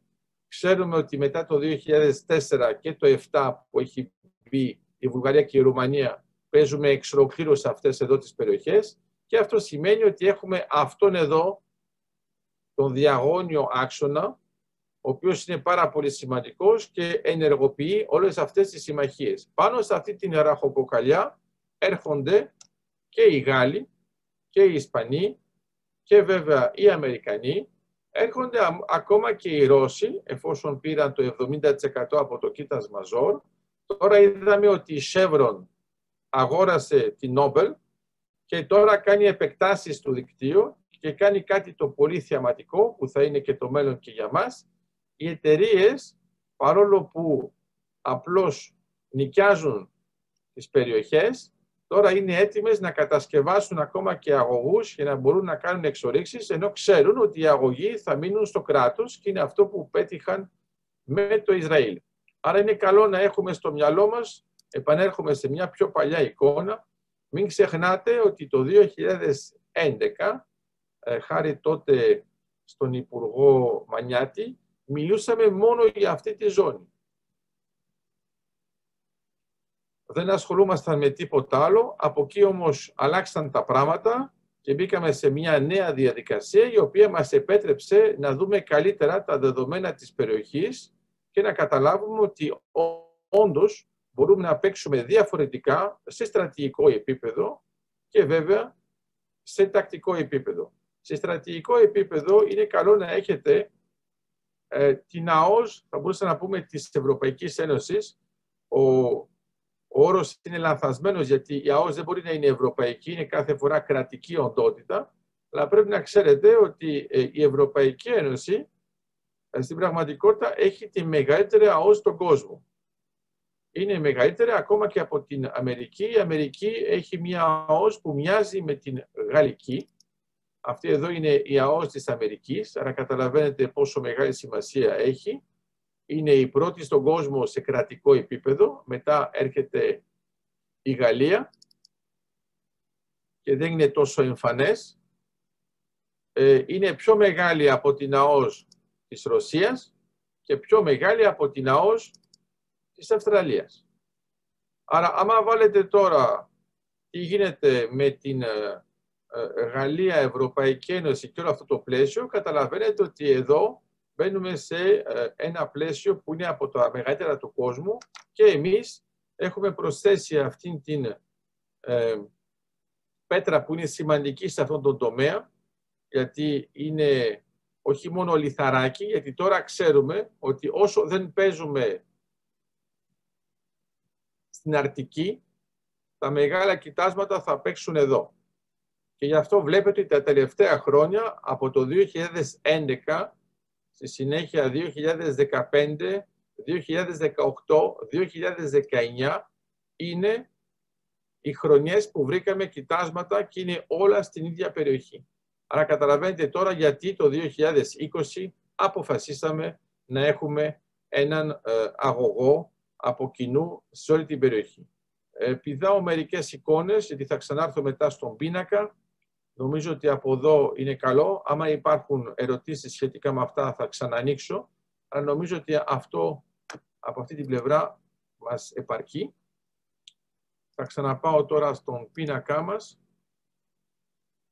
για να είμαι έτοιμος και για τη δεύτερη φάση. Γιατί εγώ βλέπω ότι κανένας δεν μου κάνει κανένα σήμα, τίποτα, γιατί κλασικά, ειδικά στο στρατό, κάτι λένε στους ανθρώπους όταν έχουν περάσει κάποιο ωράριο. Εδώ δεν βλέπω, εγώ συνεχίζω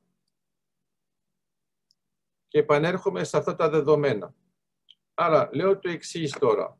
Άμα τα δούμε, εφόσον έχετε δει και τα, ας το πούμε, ε, πρακτικά κομμάτια που ε, τα αποδείξαμε με σχετικά έγγραφα. έρχομαι λοιπόν εδώ και βάζω την Ελλάδα. Άρα η Ελλάδα, σε αυτούς εδώ τους δύο άξονες, ας το ονομάσουμε σαν μία πεταλούδα, πρέπει να παίζει με αυτόν τον τρόπο και με αυτόν τον τρόπο και δεν έχει επί του πρακτέου κανένα όφελος, μα κανένα, να παίξει ουσιαστικά με την Τουρκία.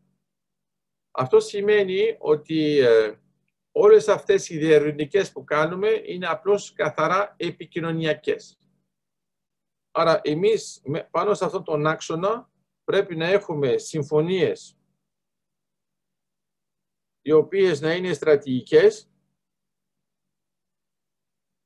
και να είναι θεσμικές. Άρα π.χ. η συμφωνία που κάναμε με την Αίγυπτο είναι ήδη στα Ηνωμένα Έθνη καταγεγραμμένη και αυτό σημαίνει ότι καταφέραμε να βάλουμε μέσα σε αυτό το πλαίσιο, να βάλουμε όλο και πιο κοντά μας με αυτή την τεχνική τη Λιβύη. Όσο αφορά τώρα την Ευρωπαϊκή Ένωση, ουσιαστικά με την απομάκρυνση της Τουρκίας και τον ρόλο που μπορεί να παίξει με την Ρωσία, έχουμε ξαφνικά ένα μεγαλύτερο ενδιαφέρον στην περιοχή και από την Αμερική. Άρα η Αμερική σε επίπεδο υψής στρατηγικής είναι κλασικά συνδεδεμένη με το ευρωπαϊκό πλαίσιο, γιατί έχει αυτή την τάση. Θα μπορούσαμε να πούμε χαρακτηριστικά ότι η Αμερική είναι πιο ευρωπαϊκή από ό,τι πιστεύουμε. Η Ρωσία είναι λιγότερο ευρωπαϊκή από ό,τι πιστεύουμε και βέβαια η Κίνα είναι η Κίνα. Αλλά δεν έχει καμία σχέση με την Ευρώπη. Ε, είναι καλό να το ξέρουν αυτοί που αναρωτιούνται αν η Κίνα μπορεί να παίξει έναν ρόλο. Το μόνο που θέλει είναι τον δρόμο του μεταξιού και ο δρόμος του μεταξιού είναι φτιαγμένος μόνο και μόνο για να αποφύγει τους Αμερικανούς όσο αφορά το ναυτικό. Γιατί φοβάται αυτήν εδώ την επιρροή. Άρα, τοπικά, ας το πούμε, αν μιλάμε για τοπικά γιατί είμαστε σε μεγάλο μέγεθος, εδώ επαναλαμβάνω ότι είμαστε σε επίπεδο ΝΑΤΟ, εδώ είμαστε στην Ευρωπαϊκή Ένωση, εδώ είναι η Ανατολική Μεσόγειος. Έχει δημιουργηθεί λοιπόν αυτή εδώ η μεγάλη διαγώνια. Σε αυτήν εδώ τη μεγάλη διαγώνια έχουμε καταφέρει να έχουμε επαφές με κοινά συμφέροντα. Αυτά τα κοινά συμφέροντα δεν αλλάζουν γρήγορα. Άρα σημαίνει τι; Σημαίνει ότι στρατηγικά τι κάναμε, βάλαμε πρώτα σαν κυρίαρχο θέμα την ενέργεια και μετά βάλαμε την οικονομία. Και είναι λογικό γιατί η στρατηγική και η ενέργεια είναι το υπόβαθρο της οικονομίας με την πολιτική. Η πολιτική και η οικονομία χωρίς στρατηγική και χωρίς ενέργεια είναι απλώς συζητήσεις. Η Ελλάδα κατάλαβε επιτέλους ότι μέσω της ΑΟΣ έχει δικαίωμα να έχει κοιτάσματα, έχει δικαίωμα να μπορεί να κάνει και μία άμυνα πάνω σε αυτό και γι' αυτό έχει ενδιαφέρον γιατί σιγά σιγά όπως καταλαβαίνετε και ερχόμαστε σε πιο στρατιωτικά το γεγονός ότι έχουμε ήδη ραφάλ που πετάει και φαντάζομαι ότι έχετε δει εικόνες και σε προσωπικό επίπεδο γιατί σίγουρα υπάρχουν άνθρωποι που τα κοιτάζουν το γεγονός ότι ε, αλλάξαμε το F-35 και δεν έχουμε πια αυτό που λέγαμε σε κάποια φάση το γεγονός ότι υπάρχει το East Med Act των Αμερικανών. Τα μέτρα που έχουν πάρθει εναντίον από τους Αμερικανούς, εναντίον της Τουρκίας και από την Ευρωπαϊκή Ένωση, στην πραγματικότητα όλα αυτά έχουν αναβαθμίσει τη θέση μας, γιατί εμείς στο ενδιάμεσο θα παίξουμε, όπως είπαμε, σε αυτήν την περιοχή και σε αυτήν την περιοχή, αλλά παίζουμε μαζί με τους άλλους. Άρα, εδώ έχουμε τη Σούδα όπου παίζουν οι Αμερικανοί παραδοσιακά. Θα κάνουν αναβάθμιση στην Κρήτη οι Αμερικανοί. Για ποιο λόγο κάνουν αναβάθμιση οι Αμερικανοί και για ποιο λόγο θέλουν να φέρουν όλο και πιο συχνά ακόμα και αεροπλανοφόρο. Είναι για τον ίδιο λόγο που κάνουν και οι Γάλλοι. Αλλά κανονικά παραδοσιακά οι Αμερικανοί ασχολούνται πιο πολύ με τον 7ο στόλο. Το γεγονός ότι θέλουν να ασχολούνται και στην περιοχή είναι ότι καταλαβαίνουν ότι τώρα μιλάμε για στρατηγική και για δίκτυο. Εμείς λοιπόν που παίζαμε παραδοσιακά με την Κύπρο και η Αμερική που έπαιζε παραδοσιακά με το Ισραήλ, ξαφνικά τώρα έχουμε ένα δίκτυο που διαμορφώνεται και συνεχίζεται με αυτόν τον τρόπο και πηγαίνει προς την ε, Ευρωπαϊκή Ένωση. Είναι το ίδιο που έχει γίνει τώρα με τη Γαλλία, άρα αν υπάρχει το ερώτημα αν η Γαλλία θέλει να παίξει στην περιοχή και βέβαια θέλει να παίξει στην περιοχή, όχι μόνο τώρα, θα παίξει όλο και περισσότερο για έναν πολύ απλό λόγο. Η Γαλλία θέλει να έχει επαφές με το Λίβανο, το έχει αποδείξει. Έχει καλές επαφές θεσμικά και με την Αίγυπτο. Είναι αυτή που ενεργειακά συμβουλεύει την Αίγυπτο ήδη από το 1917. Υπάρχει μια μεγάλη παράδοση σε αυτό το τομέα. Η Γαλλία ε, παίζει πολύ συχνά ντουέτο με την Ιταλία Άρα η Ιταλία όταν έχει οποιαδήποτε δυσκολία ποντάρει μαζί με την ε, Ιταλία. Τώρα το ερώτημα είναι πώς μπορούμε να παίξουμε στην περιοχή, ας πούμε, με τη Γερμανία. Η Γερμανία θέλει να έχει πρόσβαση στο φυσικό αέριο. Άρα αυτό οφείλεται στο γεγονός ότι θέλει να τελειώσει τους πυρηνικούς σταθμούς. Εδώ υπάρχει και μια μικρή υποκρισία βέβαια από την πλευρά των οικολόγων επίσημα η Γερμανία θέλει να κλείσει όλους τους 11 πυρηνικούς σταθμούς που έχει. Θα έπρεπε να το είχε κάνει ήδη από το 2020. Ε, αλλά αυτό που έχει ενδιαφέρον είναι ότι η Γερμανία θα παίρνει ρεύμα από τους πυρηνικούς αντιδραστήρες της Γαλλίας. Τώρα, όσο αφορά τώρα την καύση, προτιμά να κοιτάξει το φυσικό αέριο και γι' αυτό κοιτάζει προς αυτή την κατεύθυνση. Άρα έχουμε γενικά την Ευρωπαϊκή Ένωση που κοιτάζει όλο και περισσότερο την Ανατολική Μεσόγειο Έχουμε την Ανατολική Μεσόγειο που παλιά κάθε χώρα έπαιζε ξεχωριστά, αλλά τώρα τι γίνεται; Ουσιαστικά από την Αίγυπτο που πηγαίνουμε στο Ισραήλ και μετά στην Κύπρο και ο Λίβανος θέλει να φέρει όλο το φυσικό το αέριο στην Κύπρο για υγροποίηση. Αυτό σημαίνει πρακτικά τι, ότι η Κύπρος γίνεται κόμβος ο δεύτερος κόμβος που είναι ακόμα πιο ισχυρός είναι βέβαια η Ελλάδα και στη συνέχεια πάμε στην Ιταλία. Αυτός λοιπόν ο στρατηγικός άξονας για αυτές τις χώρες που έχουν καταλάβει πώς μπορούν να παίξουν έχει δηλώσει ένα διπλό ενδιαφέρον. Και εμείς τώρα είμαστε στο ενδιάμεσο. Άρα, όταν έχουμε εμείς πρωτοβουλίες, κινήσεις στρατηγικής, ε, δημιουργία συμμαχικού πλαισίου, και ταυτόχρονα έχουμε ένα κοινό ενδιαφέρον, γιατί όπως καταλαβαίνετε, αυτοί εδώ που είναι όλοι παραγωγοί θέλουν να μπορούν να το πουλάνε σε κάποιον που μπορεί να το αγοράσει. Ναι, αλλά ποιος να το αγοράσει στην περιοχή, η Τουρκία; Όχι. Άρα θα παίξουμε λοιπόν με την Ασία, αλλά μετά γίνεται μεγάλη απόσταση και θα είναι πιο πολύ για τα καράβια LNG και ο μεγάλος στρατηγικός άξονας θα είναι προς Ευρωπαϊκή Ένωση. Άρα έχουμε ουσιαστικά, τώρα να το θέσουμε αλλιώς, η Ελλάδα, και έχει αλλάξει σε σχέση με το τι γινόταν πριν, εμείς τώρα είμαστε μέσα σε αυτό το κοινό ενδιαφέρον. και δεν είμαστε τώρα πια μια ε, ζώνη με ένα δίκτυο, ε, είμαστε μέσα σε μια ζώνη κοινού ενδιαφέροντος και αυτό γίνεται μέσω της ΑΟΣ, γιατί η Ελλάδα χωρίς ΑΟΣ θα έπαιζε μόνο ως πέρασμα. Ως πέρασμα θα μπορούσε να έχει το ρόλο της Ουκρανίας και ξέρουμε ακριβώς τι έγινε στην Ουκρανία. Όμως επειδή μπορεί να υπάρχει και παραγωγή και αυτό αποδεικνύεται από το ενδιαφέρον που έχουμε τώρα από την Exxon Mobil, την Total και τα ελληνικά πετρέλαια, ειδικά στην Κρήτη, εφόσον αυτή την περίοδο θα αρχίσουν τις έρευνες για να έχουν τα δικά τους δεδομένα, τότε καταλαβαίνουμε ότι μέσα από αυτό το πλαίσιο έχουμε μία Ελλάδα αναβαθμισμένη. Άρα Ελλάδα αναβαθμισμένη τι σημαίνει πρακτικά; Σημαίνει ότι στην ΑΟΣ την έχουμε και αυτό συνεχίζει να μεγαλώνει. Τα 12 ναυτικά μίλια τα μεγαλώσαμε και θα το συνεχίσουμε επίσης. Τώρα για τις ένοπλες δυνάμεις. Νομίζω ότι είδατε ότι οι ένοπλες δυνάμεις θα παίξουν έναν ρόλο όλο και πιο σημαντικό και είναι καλό να το λέμε, το λέω τώρα ειδικά για τους Προέδρους, ε, διότι μερικές φορές θα αναρωτιόμαστε αν θα παίξουμε κάτι το σημαντικό. Αλλά το πρώτο πράγμα που πρέπει να καταλάβουμε είναι ότι όταν είχαμε μόνο το Search and Rescue, θα δείτε σιγά σιγά ότι το Search and Rescue θα γίνει το απειροελάχιστο της ΑΟΣ. Όλη η δουλειά θα γίνεται γύρω από την ΑΟΣ, θα είναι λοιπόν η προστασία των εγκαταστάσεων, η επιτήρηση της ΑΟΣ, η χρήση ντρόν, οι συμμαχίες μεταξύ των κρατών και να μπορεί να ενεργοποιείται μια γραμμή άμυνας και δεν είναι καθόλου τυχαίο που τώρα η Ελλάδα με την Γαλλία μιλάει τώρα επίσης για ενιαίο αμυντικό δόγμα.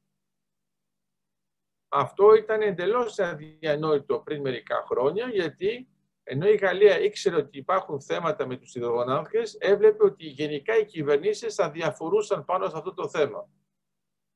Τώρα η Γαλλία θα έρχεται όλο και πιο συχνά και η Ελλάδα θα είναι όλο και πιο συχνά καλεσμένη στη Γαλλία. Παίζονται βέβαια και άλλα πράγματα. Μην ξεχνάμε ότι το 2022 η Γαλλία θα έχει και Προεδρία Ευρωπαϊκής Ένωσης. Ε, μην ξεχνάμε ότι η Γαλλία θα έχει εκλογές το Μάιο του 2022 και η μεγάλη αντιπαράθεση θα είναι πάνω σε ένα σημείο. Ποια είναι η στάση της Γαλλίας με την Τουρκία; Ο Μακρό είναι ξεκάθαρος πάνω σε αυτό. Ποια είναι η στάση της Γαλλίας με την Ελλάδα; Και εδώ είναι πάλι ξεκάθαρο και το βλέπουμε. Και να ξέρετε ότι εμείς αγοράσαμε ήδη τα Ραφάλ.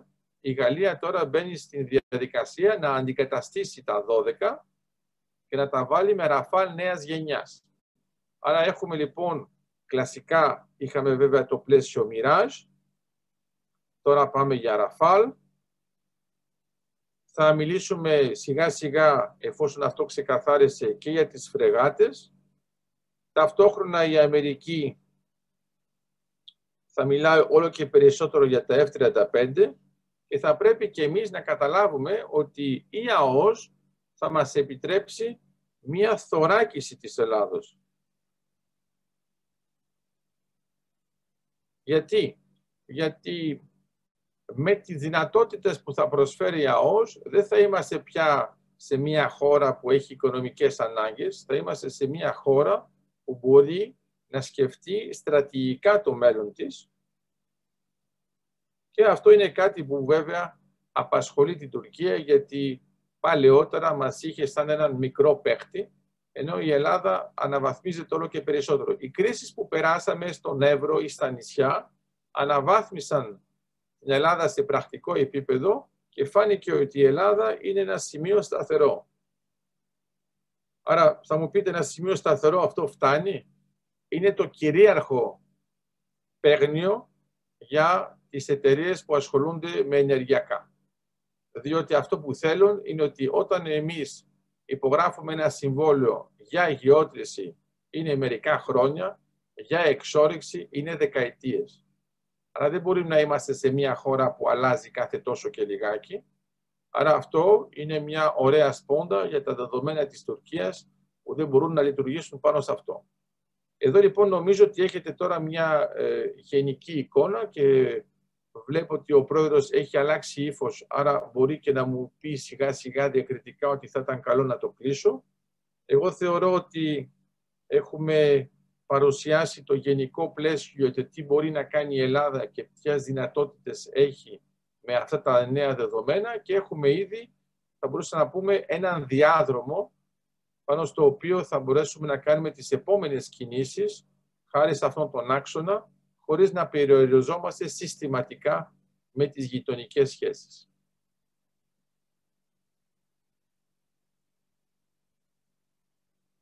Πέτρο μου, χωρίς μικρόφωνο, εγώ διαβάζω τι λες, αλλά δεν θέλω να υπάρχει μια παρερμηνία. Ωραία, δάσκαλα. Αν ε, έχετε τελειώσει, μπορούμε να περάσουμε στις ερωτήσεις. Βεβαίως, βεβαίως. Λοιπόν, ε, ας περάσουμε στην πρώτη ερώτηση του κύριου Γοναλάκη. Ε, αναφέρεται ότι η παγκόσμια νεότερη ιστορία μας λέει ότι οι περισσότερες μη οικονομικά ισχυρές χώρες δεν κατάφεραν να υποφεληθούν από κοιτάσματα υδρογοναθράκων που βρέθηκαν στην περιοχή τους και οδηγήθηκαν σε πρόβλημα τόσο κοινωνικά όσο και οικονομικά. Πιστεύετε ότι η Ελλάδα θα μπορέσει να διαχειριστεί μια πιθανή μελλοντική εκμετάλλευση κοιτασμάτων; Είναι πάρα πολύ απλό, γιατί μάλλον ε, αυτό που ξέχασε στην ερώτησή του είναι οι ευρωπαϊκές χώρες είναι σε αυτή τη φάση; Γιατί εγώ δεν ξέρω καμία ευρωπαϊκή χώρα που να έχει προβλήματα. Εγώ αυτό που ξέρω ότι ε, η Ολλανδία είναι μια χαρά, η Αγγλία είναι μια χαρά, η Νορβηγία είναι μια χαρά. Αν η ερώτηση αναφέρεται στην Ιγερία, είναι λογικό. Άρα η απάντηση είναι πάρα πολύ απλή. Όταν είμαστε στην Ευρωπαϊκή Ένωση, δεν μπορεί όλος να κάνει οποιαδήποτε συμφωνία. Και το είδαμε πρακτικά. Ε, όταν θέλαμε να κάνουμε κάτι με την Gazprom, η Ευρωπαϊκή Ένωση είπε αυτό θα πρέπει να είναι για όλη την Ευρωπαϊκή Ένωση και όχι μόνο για την Ελλάδα και σταμάτησε ο διαγωνισμός. Έγινε το ίδιο με την ΣΟΚΑΡ. Άρα το ευρωπαϊκό πλαίσιο και το ευρωπαϊκό κεκτημένο, ειδικά με τα 35 κεφάλαια, ξεκαθαρίζει ότι κανένας δεν μπορεί να καταπατήσει μια ευρωπαϊκή χώρα, Πέτρα μου, ακόμα και αν το θέλει. Ε, διότι αν θέλει να καταπατηθεί θα πρέπει πρώτα να βγει. Διότι αμέσως η Ευρωπαϊκή Ένωση θα κινηθεί με έναν τρόπο που είναι θεσμικός και θα πει ότι οτιδήποτε υπογράφεται από μια χώρα που είναι εκτός Ευρωπαϊκής Ένωσης πρέπει να είναι το ανάλογο για όλες τις άλλες. Άρα έχουμε μια ασφαλιστική δικλίδα που τώρα την ενεργοποιούμε και δεν είναι καθόλου τυχαίο που οτιδήποτε έχουμε υπογράψει εμείς, δηλαδή ε, και με την Repsol με την Ισπανία και με την Edison την Ιταλία, με την Total της Γαλλίας, με την ExxonMobil, είναι όλες σε ένα πλαίσιο που είναι είτε ευρωπαϊκό, είτε νατοϊκό, είτε και τα δύο. Άρα είμαστε σε εντελώς διαφορετική θέση από ερωτήσεις που αφορούν γενικά χώρες που είναι στην, ε, ε, στον κόσμο και δεν έχουν καμία ε, θεσμική υποστήριξη από υπερδομές όπως είναι η Ευρωπαϊκή Ένωση και το ΝΑΤΟ. Ωραία. Ε, να περάσουμε τώρα σε μια σειρά ερωτήσεων. Ε, θα παρακαλέσω τον Κώστα τον Κουμούτσιο να απευθύνει στον καθηγητή τις ερωτήσεις από συναδέλφους. Ωραία. Ε, κύριε καθηγητά, καλησπέρα. Καλησπέρα. Θα σας διαβάσω ακριβώς όπως ε, μου έχουν σταλεί κάποιες ερωτήσεις. Ναι. Ε, πιστεύετε ότι η Γαλλία θα έπαιζε καθαριστικό ρόλο στα εθνικά μας συμφέροντα και γιατί; Ε, νομίζω ότι απαντήσαμε ήδη με την διάλεξη για έναν πολύ απλό λόγο. Πρώτα απ' όλα η Γαλλία έχει συμφέροντα στην περιοχή, δεν είναι μια ε, ξένη χώρα ε, γενικά, ε, ειδικά στην Ανατολική Μεσόγειο, όπως το είπα παραδοσιακά με την Αίγυπτο και με τον Λίβανο. Η Γαλλία είναι κλασικά ε, φιλική προς την Ελλάδα. Το είδαμε ακόμα και στα σκληρά δεδομένα της κρίσης, ποιες ήταν οι στάσεις της Γαλλίας σε αντιπαράθεση με τη Γερμανία. Η Γαλλία επίσης ε, παραδοσιακά με τις ενόπλες δυνάμεις λόγω και των εξοπλισμών, ειδικά των Μοιράζ και τώρα των Ραφάλ, θέλει να μπει σε ένα ενιαίο αμυντικό δόγμα και θέλει να αξιοποιήσει τα δεδομένα της ΑΟΣ και γι' αυτό υπάρχει το ενδιαφέρον της Total. Άρα με τη Γαλλία έχουμε μάλιστα και πιστοποίηση, όπως λέμε, στον τομέα μας. Δεν έχουμε απλώς ένα απλό ενδιαφέρον, έχουμε συμβόλαια, έχουμε ε, συμμετοχή ενεργή και για το θέμα του αγωγού EastMed και κατά συνέπεια είμαστε απόλυτα συμβατοί για να έχουμε ένα δυναμικό αμυντικό δόγμα. Ωραία. Ε, η επόμενη ερώτηση είναι, ε, η Κίνα θα μπορούσε να υποστηρίξει τα εθνικά μας συμφέροντα; Καθόλου. Η Κίνα δεν μπορεί να υποστηρίξει κανέναν από την Ευρώπη, διότι πολύ απλά η Κίνα σε επίπεδο υψηλής στρατηγική ε, θέλει μέσω της Αφρικής και της Ασίας να μπορεί να παίξει αυτή στην Ευρώπη και να δημιουργήσει δορυφόρους. Αντιθέτως, ε, η Κίνα εμφανίζεται όλο και περισσότερο ως ένας εχθρός για την Ευρώπη. Το έχει εντοπίσει καλύτερα η Αμερική, το βλέπουμε και από τη συμπεριφορά της Αμερικής. Ε, η Κίνα είναι ε, ένα κράτος του κέντρου. Άρα τώρα όταν θέλει να κάνει επεκτάσεις δεν θέλει να κινεζοποιήσει τα δεδομένα των άλλων, θέλει να έχει έναν απόλυτο έλεγχο. Άρα όταν θα κάνει μια επένδυση η Κίνα θα πρέπει στην επένδυση το 98% να είναι προς όφελος της Κίνας. Αν λοιπόν ο άλλος κάνει το λάθος να το δεχτεί για το 2%, τότε θα είναι απλώς δορυφόρος. Ε, η Κίνα ε, όταν κοιτάζει τις συμμαχίες, δεν κοιτάζει μια συμμαχία που θα γίνει στο ίδιο επίπεδο. Η Κίνα έχει το κόμπλεξ ανωτερότητας, θεωρεί ότι ό,τι και να κάνει θα πρέπει αυτή να έχει το πάνω χέρι, άρα δεν, δεν βλέπει ποτέ συμμαχίες σε επίπεδο ισότητας. Άρα ε, το ευρωπαϊκό πλαίσιο της προκαλεί ε, μια αντίδραση γιατί θεσμικά, κομμουνιστικά, ε, κρατικά είναι εντελώς διαφορετική η προσέγγιση της, αλλά το χειρότερο βέβαια είναι ότι σε επίπεδο πολιτισμικό δεν θεωρεί ότι μπορεί να κάνει κάτι στην Ευρώπη, γιατί θεωρεί ότι η Ευρώπη είναι απλώς πολύ μικρή, αλλά αυτό που της αρέσει είναι να αφοπλίζει την Ευρώπη και να μπορεί να επενδύει για να έχει αυτή τα λεφτά. Δηλαδή είναι ικανή, ας πούμε, να αγοράσει λιμάνια. Είναι ικανή να αγοράσει ξενοδοχεία πολύ υψηλών προδιαγραφών ε, και να μεταφέρει τους τουρίστες από την Κίνα, αλλά θα είναι αποκλειστικά για όφελό της. Ε, ε, Κώστα, συγγνώμη λίγο που σε διακόπτω, να δώσουμε λίγο το λόγο στον κύριο Διανελάκη να απευθύνει και αυτό στην δικιά του ερώτηση. Ε, καλησπέρα σας. Καλησπέρα σας. Καλησπέρα, Δημήτρη. Να ρωτήσω το εξής. Είδαμε λοιπόν ότι στην περίπτωση της Νησίας και Λιβύης ναι. ε, το πρόβλημα επιλύθηκε διαλέγοντας την αρχή της ε, μέσης γραμμής. Κατά προσέγγιση. Όχι. Όχι. Άμα ήταν η μέση γραμμή, ε, να ξέρετε ότι ήταν η γραμμή η κίτρινη που έδειξα. Μάλιστα, ήταν η ενδιάμεση όμως. Όχι, όχι, όχι, όχι, όχι, όχι, όχι, όχι. Αυτή που ήταν η πιο απομακρυσμένη από την Τινησία ήταν η ενδιάμεση και αυτή ήταν η σωστή μέση γραμμή. Αυτό που έγινε μετά είναι ότι η Λιβύη έλεγε ότι η Τινησία, το νησί δεν έχει καθόλου υφαλοκρηπίδα. Άρα ήταν η δεύτερη κίτρινη γραμμή. Και αυτό που έγινε ήταν το ενδιάμεσο μεταξύ το 100% και το 0%. Άρα αυτό που έγινε με την πράσινη γραμμή που είδατε είναι μόνο και μόνο αυτό που δέχτηκε το δικαστήριο. Άρα ήταν μια συμβιβαστική λύση που έδωσε στο νησί μόνο 50% της υφαλοκρηπίδας του. Οπότε έδωσε στο νησί μόνο το 50%. Ε, άρα, δεν άρα, άρα θεωρήθηκε ότι ε, το νησί δεν έχει, έχει την ε, μειωμένη από όσο θεωρούμε εμείς αυτή τη στιγμή. Σωστά. Ε, αυτό έγινε με την υφαλοκρηπίδα. Μην ξεχνάμε ότι όλα αυτά τα πράγματα αρχικά ε, είχαν αρχίσει με την Μάλτα, που και η Μάλτα προσπάθησε να παίξει με την υφαλοκρηπίδα, αλλά είναι λάθος να παίζουμε με την υφαλοκρηπίδα, γιατί είναι η ΑΟΣ που προστατεύει τα νησιά, όχι η υφαλοκρηπίδα.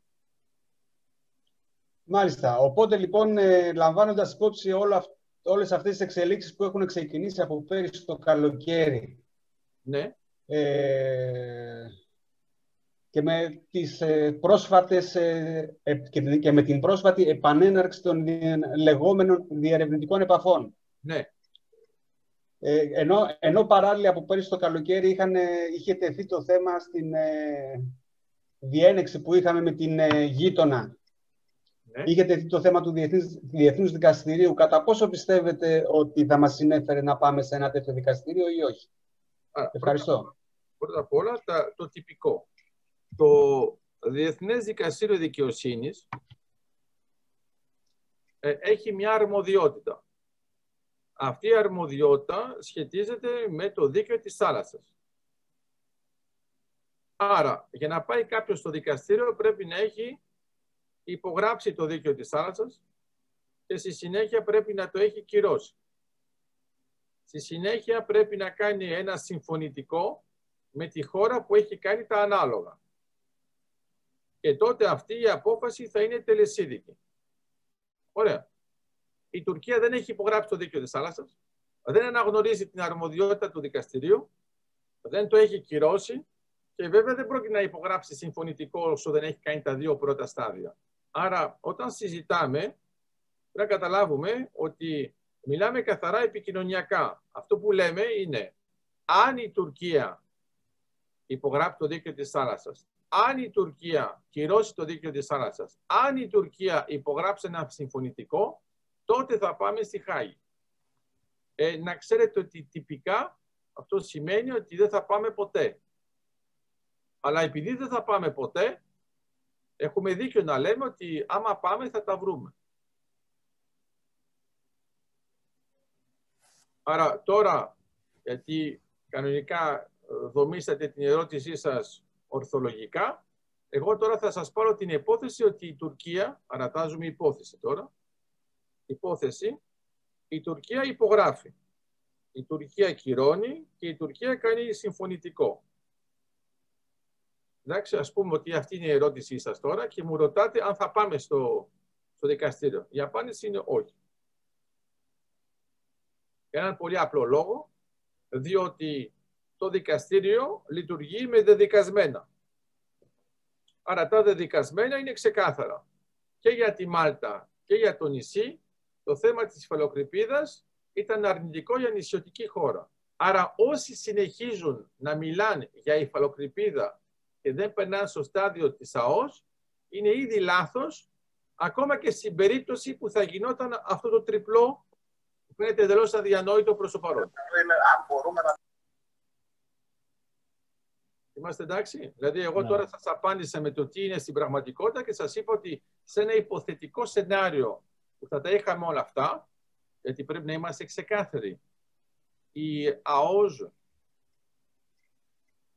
του Καστελόριζου πρέπει να την έχουμε 100%. Άρα, επειδή έχουμε κάνει τους υπολογισμούς, μπορώ να σας πω ότι ακόμα και αν χάσουμε, όχι 50%, άμα χάσουμε 10%, δεν έχουμε πια επαφή με την Κύπρο. Άρα αυτό που μας συμφέρει είναι ως Ελλάδα με την Κύπρο και με την Αίγυπτο να κάνουμε το τριπλό σημείο επαφής, να κάνουμε πρώτα την επέκταση από αυτήν την μερική, να κάνουμε τη συμφωνία εδώ και εφόσον τα έχουμε συμφωνήσει, τότε άμα θέλουμε μπορούμε να πάμε και στο δικαστήριο. Έγινε, σας ευχαριστώ πολύ κύριε καθήτα. Να είστε καλά. Να ευχαριστούμε τον κύριο Διανελάκη και να πάμε στον κύριο Οικονόμου για την επόμενη ερώτηση. Ωραία. Ναι, καλησπέρα και από μένα. Καλησπέρα σας. Κύριε καθηγητά, ποιος διασφαλίζει για την υφαλοκρηπίδα, είπατε ότι το διεθνές δίκαιο, ναι. εάν κινηθούμε προς τα εκεί, εξασφαλίζει το διεθνές δικαστήριο ότι ό,τι θα πρέπει να συμβεί θα συμβεί για την υφαλοκρηπίδα. Το αντίστοιχο συμβαίνει και για την ΑΟΖ. Βέβαια, είναι ακριβώς το ίδιο. Είναι ακριβώς το ίδιο. Πάλι στο Διεθνές Δικαστήριο θα κινηθούμε και για την ΑΟΣ. Ναι, όχι, όχι, όχι. Άρα για να είμαστε ξεκάθαροι. Μπράβο, αυτό θέλω να ξεκαθαρίσω. Στο Διεθνές Δικαστήριο πάμε μόνο αν το θέλουμε. Ναι, όχι, δεν διαφωνώ. Δεν διαφωνώ για το πότε θα πάμε. Ναι. Ποιος είναι αυτός, εάν ποτέ πάμε, θα κατοχυρώσει δικαστικά το, το δίκαιο, το δίκαιο μας, το Διεθνές Δικαστήριο. Είτε για την υφαλοκρηπίδα, είτε για την ΑΟΣ για, για οτιδήποτε που αφορά το δίκαιο της θάλασσας. Δηλαδή, θέλω, να, ακριβώς. Θέλω να πω δηλαδή ότι εμείς μονομερός ή τριμερός με την Αίγυπτο και την Κύπρο, οι ναι. τρεις χώρες, συμφωνούμε, είπατε, το κοινό σημείο ναι. και έρχεται η Τουρκία και λέει θέλω να το προσβάλλω, γιατί εγώ σύμφωνα με τα δικά μου δεδομένα θεωρώ ότι έπρεπε να έχω μεγαλύτερη ΑΟΣ, άρα να προσβάλλω αυτό το σημείο σύγκλησης των τριών χωρών. Ε, είναι πολύ απλό. Αυτό δεν θα πάει καν στο δικαστήριο. Γιατί ακόμα και να θέλει να το προσβάλλει, θα πρέπει εμείς να συμφωνήσουμε με την προσβολή για να πάμε στο δικαστήριο. Ναι, ναι, είδα τη διαδικασία που την περιγράψατε ακριβώς. Ναι. Πώς πρέπει να γίνει. Είναι πολύ απλό. Το δικαστήριο, για να είμαστε ξεκάθαροι, ασχολείται μόνο με χώρες που συμφωνούν που έχουν... ότι διαφωνούν. Που έχουν υπογράψει και έχουν κυρώσει και έχουν κάνει και το, και το Έχουν υπογράψει και έχουν κυρώσει δεν φτάνει. Πρέπει να έχουν υπογράψει. Ναι, ναι, και έχουν κάνει και το σύμφωνο και το τρίτο βήμα. Είναι. Άμα δεν υπάρχει αυτό, δεν, δεν, δεν συζητάει. Ναι, ναι, ναι, ναι το, το, το κατάλαβα. Εντάξει, okay, δεν την ήξερα αυτή η διαδικασία, ήταν ξεκάθαρο. Το κλείνει εντελώς. Θέλει το δικαστήριο να είναι πάντοτε σε μια αρμοδιότητα καθαρά νομική και όχι στρατηγική ή οποιοδήποτε άλλο πλαίσιο, ακόμα και στρατιωτικό. Ωραία. Ωραία. Άρα πάλι το Διεθνές Δικαστήριο θα είναι και για την ΑΟΣ, όχι μόνο για την υφαλοκρηπίδα. Αντίστοιχα. Ακόμα στην πραγματικότητα, ακόμα και για θέματα χωρικών υδατών παίζει το δικαστήριο, γιατί όταν είμαστε πολύ κοντά, ας, πούμε, ας πάρουμε το παράδειγμα με την Αλβανία. Η Αλβανία έχει υπογράψει, έχει κυρώσει και εμείς το ίδιο. Τώρα εμείς αυτό που υπογράψαμε είναι αυτό που σας λέω, για να μην νομίζετε ότι είναι θεωρητικό, είναι ακριβώς αυτό που κάναμε. Συμφωνήσαμε ότι θα έχουμε ένα χρονικό διάστημα που θα το συζητάμε και αν δεν τα βρούμε θα πάμε στο δικαστήριο. Αλλά αυτό ήταν τεράστια επιτυχία της Ελλάδας. Για ποιο λόγο; Γιατί αρχικά η Αλβανία ήθελε να υπάρχει τρίτη χώρα και είχε προτείνει την Τουρκία. Άρα ναι. φανταστείτε εμείς να το είχαμε δεχτεί υποτίθεται για λόγους ελληνοτουρκικής φιλίας. Ε, μετά θα ήταν Οθωμανική φιλία. Ναι, okay. γιατί είμαστε σε ανοιχτή διάλεξη. Λέω απλώς ότι ε, εκεί πέρα όμως γιατί πάμε; Γιατί εκεί πέρα εμείς είμαστε με ξηρά και με τεράστιο νησί και είδατε τώρα ότι κλείσαμε τους κόλπους και η, η Αλβανία δεν είπε είναι απαράδεκτο αυτό που κάνατε, είπε αντιθέτως ότι έχετε δικαίωμα και γίνεται αυτό μονομερός. Okay. Άρα εδώ, εδώ βάλαμε, ε, δηλαδή κερδίσαμε ήδη σημεία που δεν τα είχαμε το 9, γιατί τώρα είμαστε πιο κοντά στην Αλβανία και άμα υπάρχει μια διευθέτηση από το δικαστήριο είναι πάρα πολύ απλό, θα είναι ότι ο άλλως πάνω στη μέση γραμμή. Γιατί αυτό που ξεχνάνε πολλοί, το δίκαιο της θάλασσας δεν προβλέπει τη μέση γραμμή οριοθέτησης. Προβλέπει οτιδήποτε συμφωνήσουν οι δύο χώρες. Μάλιστα. Δεν θέλει να κάνει παρέμβαση. Άμα, άμα κάποιος θεωρεί ότι πρέπει να καταπατηθεί και να πάρει μόνο το. Α πούμε, τα κατεχόμενα και η Τουρκία, που έχουν υπογράψει κάτι το οποίο βέβαια δεν είναι νόμιμο, τα κατεχόμενα έχουν πάρει μόνο το 1 τρίτο. Και η Τουρκία τα 2 τρίτα. Ε, αν ήταν αληθινές χώρες και οι δύο, ε, τα Ηνωμένα Έθνη και το δικαστήριο δεν θα λέγεται δεν έχετε δικαίωμα, άμα, είναι, άμα τους συμφέρει για κάποιο λόγο το κάνουν. Okay. Έγινε. Σας ευχαριστώ πολύ. Να είστε καλά. Ε, μία ερώτηση από μένα, κύριε καθηγητά. Ναι. Λοιπόν, ποια θα ήταν η στάση του ΝΑΤΟ σε ένα θερμό επεισόδιο με την Τουρκία; Γιατί να έχουμε θερμό επεισόδιο με την Τουρκία; Πρώτα γιατί, γιατί η Τουρκία πιθανόν να οδηγηθεί σε ένα διέξοδο. Ε, έχουν αλλάξει ισορροπίες όπως μας περιγράψατε στο Αιγαίο και πιθανόν επειδή είναι σε δύσκολη θέση και οικονομικά δεν θα ξέραμε πώς ε, μπορεί να αντιδράσει. Μα επειδή είναι σε, σε αδιέξοδο και επειδή είναι σε δυσκολία οικονομικά, δεν είναι τώρα που θα κάνει αυτές τις κινήσεις. Άρα για να απαντήσω θεσμικά, το ξέρετε πολύ καλά και με ξαφνιάζει η ερώτηση, αλλά μάλλον είναι για να ακουστεί από όλους, το ΝΑΤΟ, όταν υπάρχει πρόβλημα μεταξύ δύο νατοικών χωρών, δεν εμπλέκεται. Το ΝΑΤΟ εμπλέκεται μόνο όταν κάποια χώρα που είναι εκτός ΝΑΤΟ χτυπήσει μια χώρα που είναι εντός ΝΑΤΟ. Αλλιώς δεν κάνει τίποτα. Θεσμικά δεν έχει δικαίωμα να το κάνει. Άρα ε, είναι εντελώς λανθασμένη ε, η ερώτηση πάνω σε αυτό το πλαίσιο. Αλλά φαντάζομαι ότι το υπονοούμενο είναι τι θα κάνει το ΝΑΤΟ πριν φτάσουμε σε αυτό το επίπεδο. Μα είναι πολύ ξεκάθαρο τι κάνει το ΝΑΤΟ. Το ΝΑΤΟ έχει κάνει το EastMed Act, έχει σταματήσει τα F-35, ε, πουλάει τα Rafale, άρα ξέρουμε ακριβώς τι κάνει το ΝΑΤΟ. Δεν είναι ανάγκη να πάρει μια απόφαση σε πολεμική φάση, γιατί ούτως ή άλλως μπορεί επίσης εμείς ουσιαστικά ενεργοποιούμε το άθρο των Ηνωμένων Εθνών για την προστασία μας. Γιατί άμα είμαστε σοβαροί και θεσμικοί, ρωτάω, στα Δωδεκάνησα μπορούμε να έχουμε στρατό; Όχι. Γι' αυτό έχουμε εθνοφυλακή.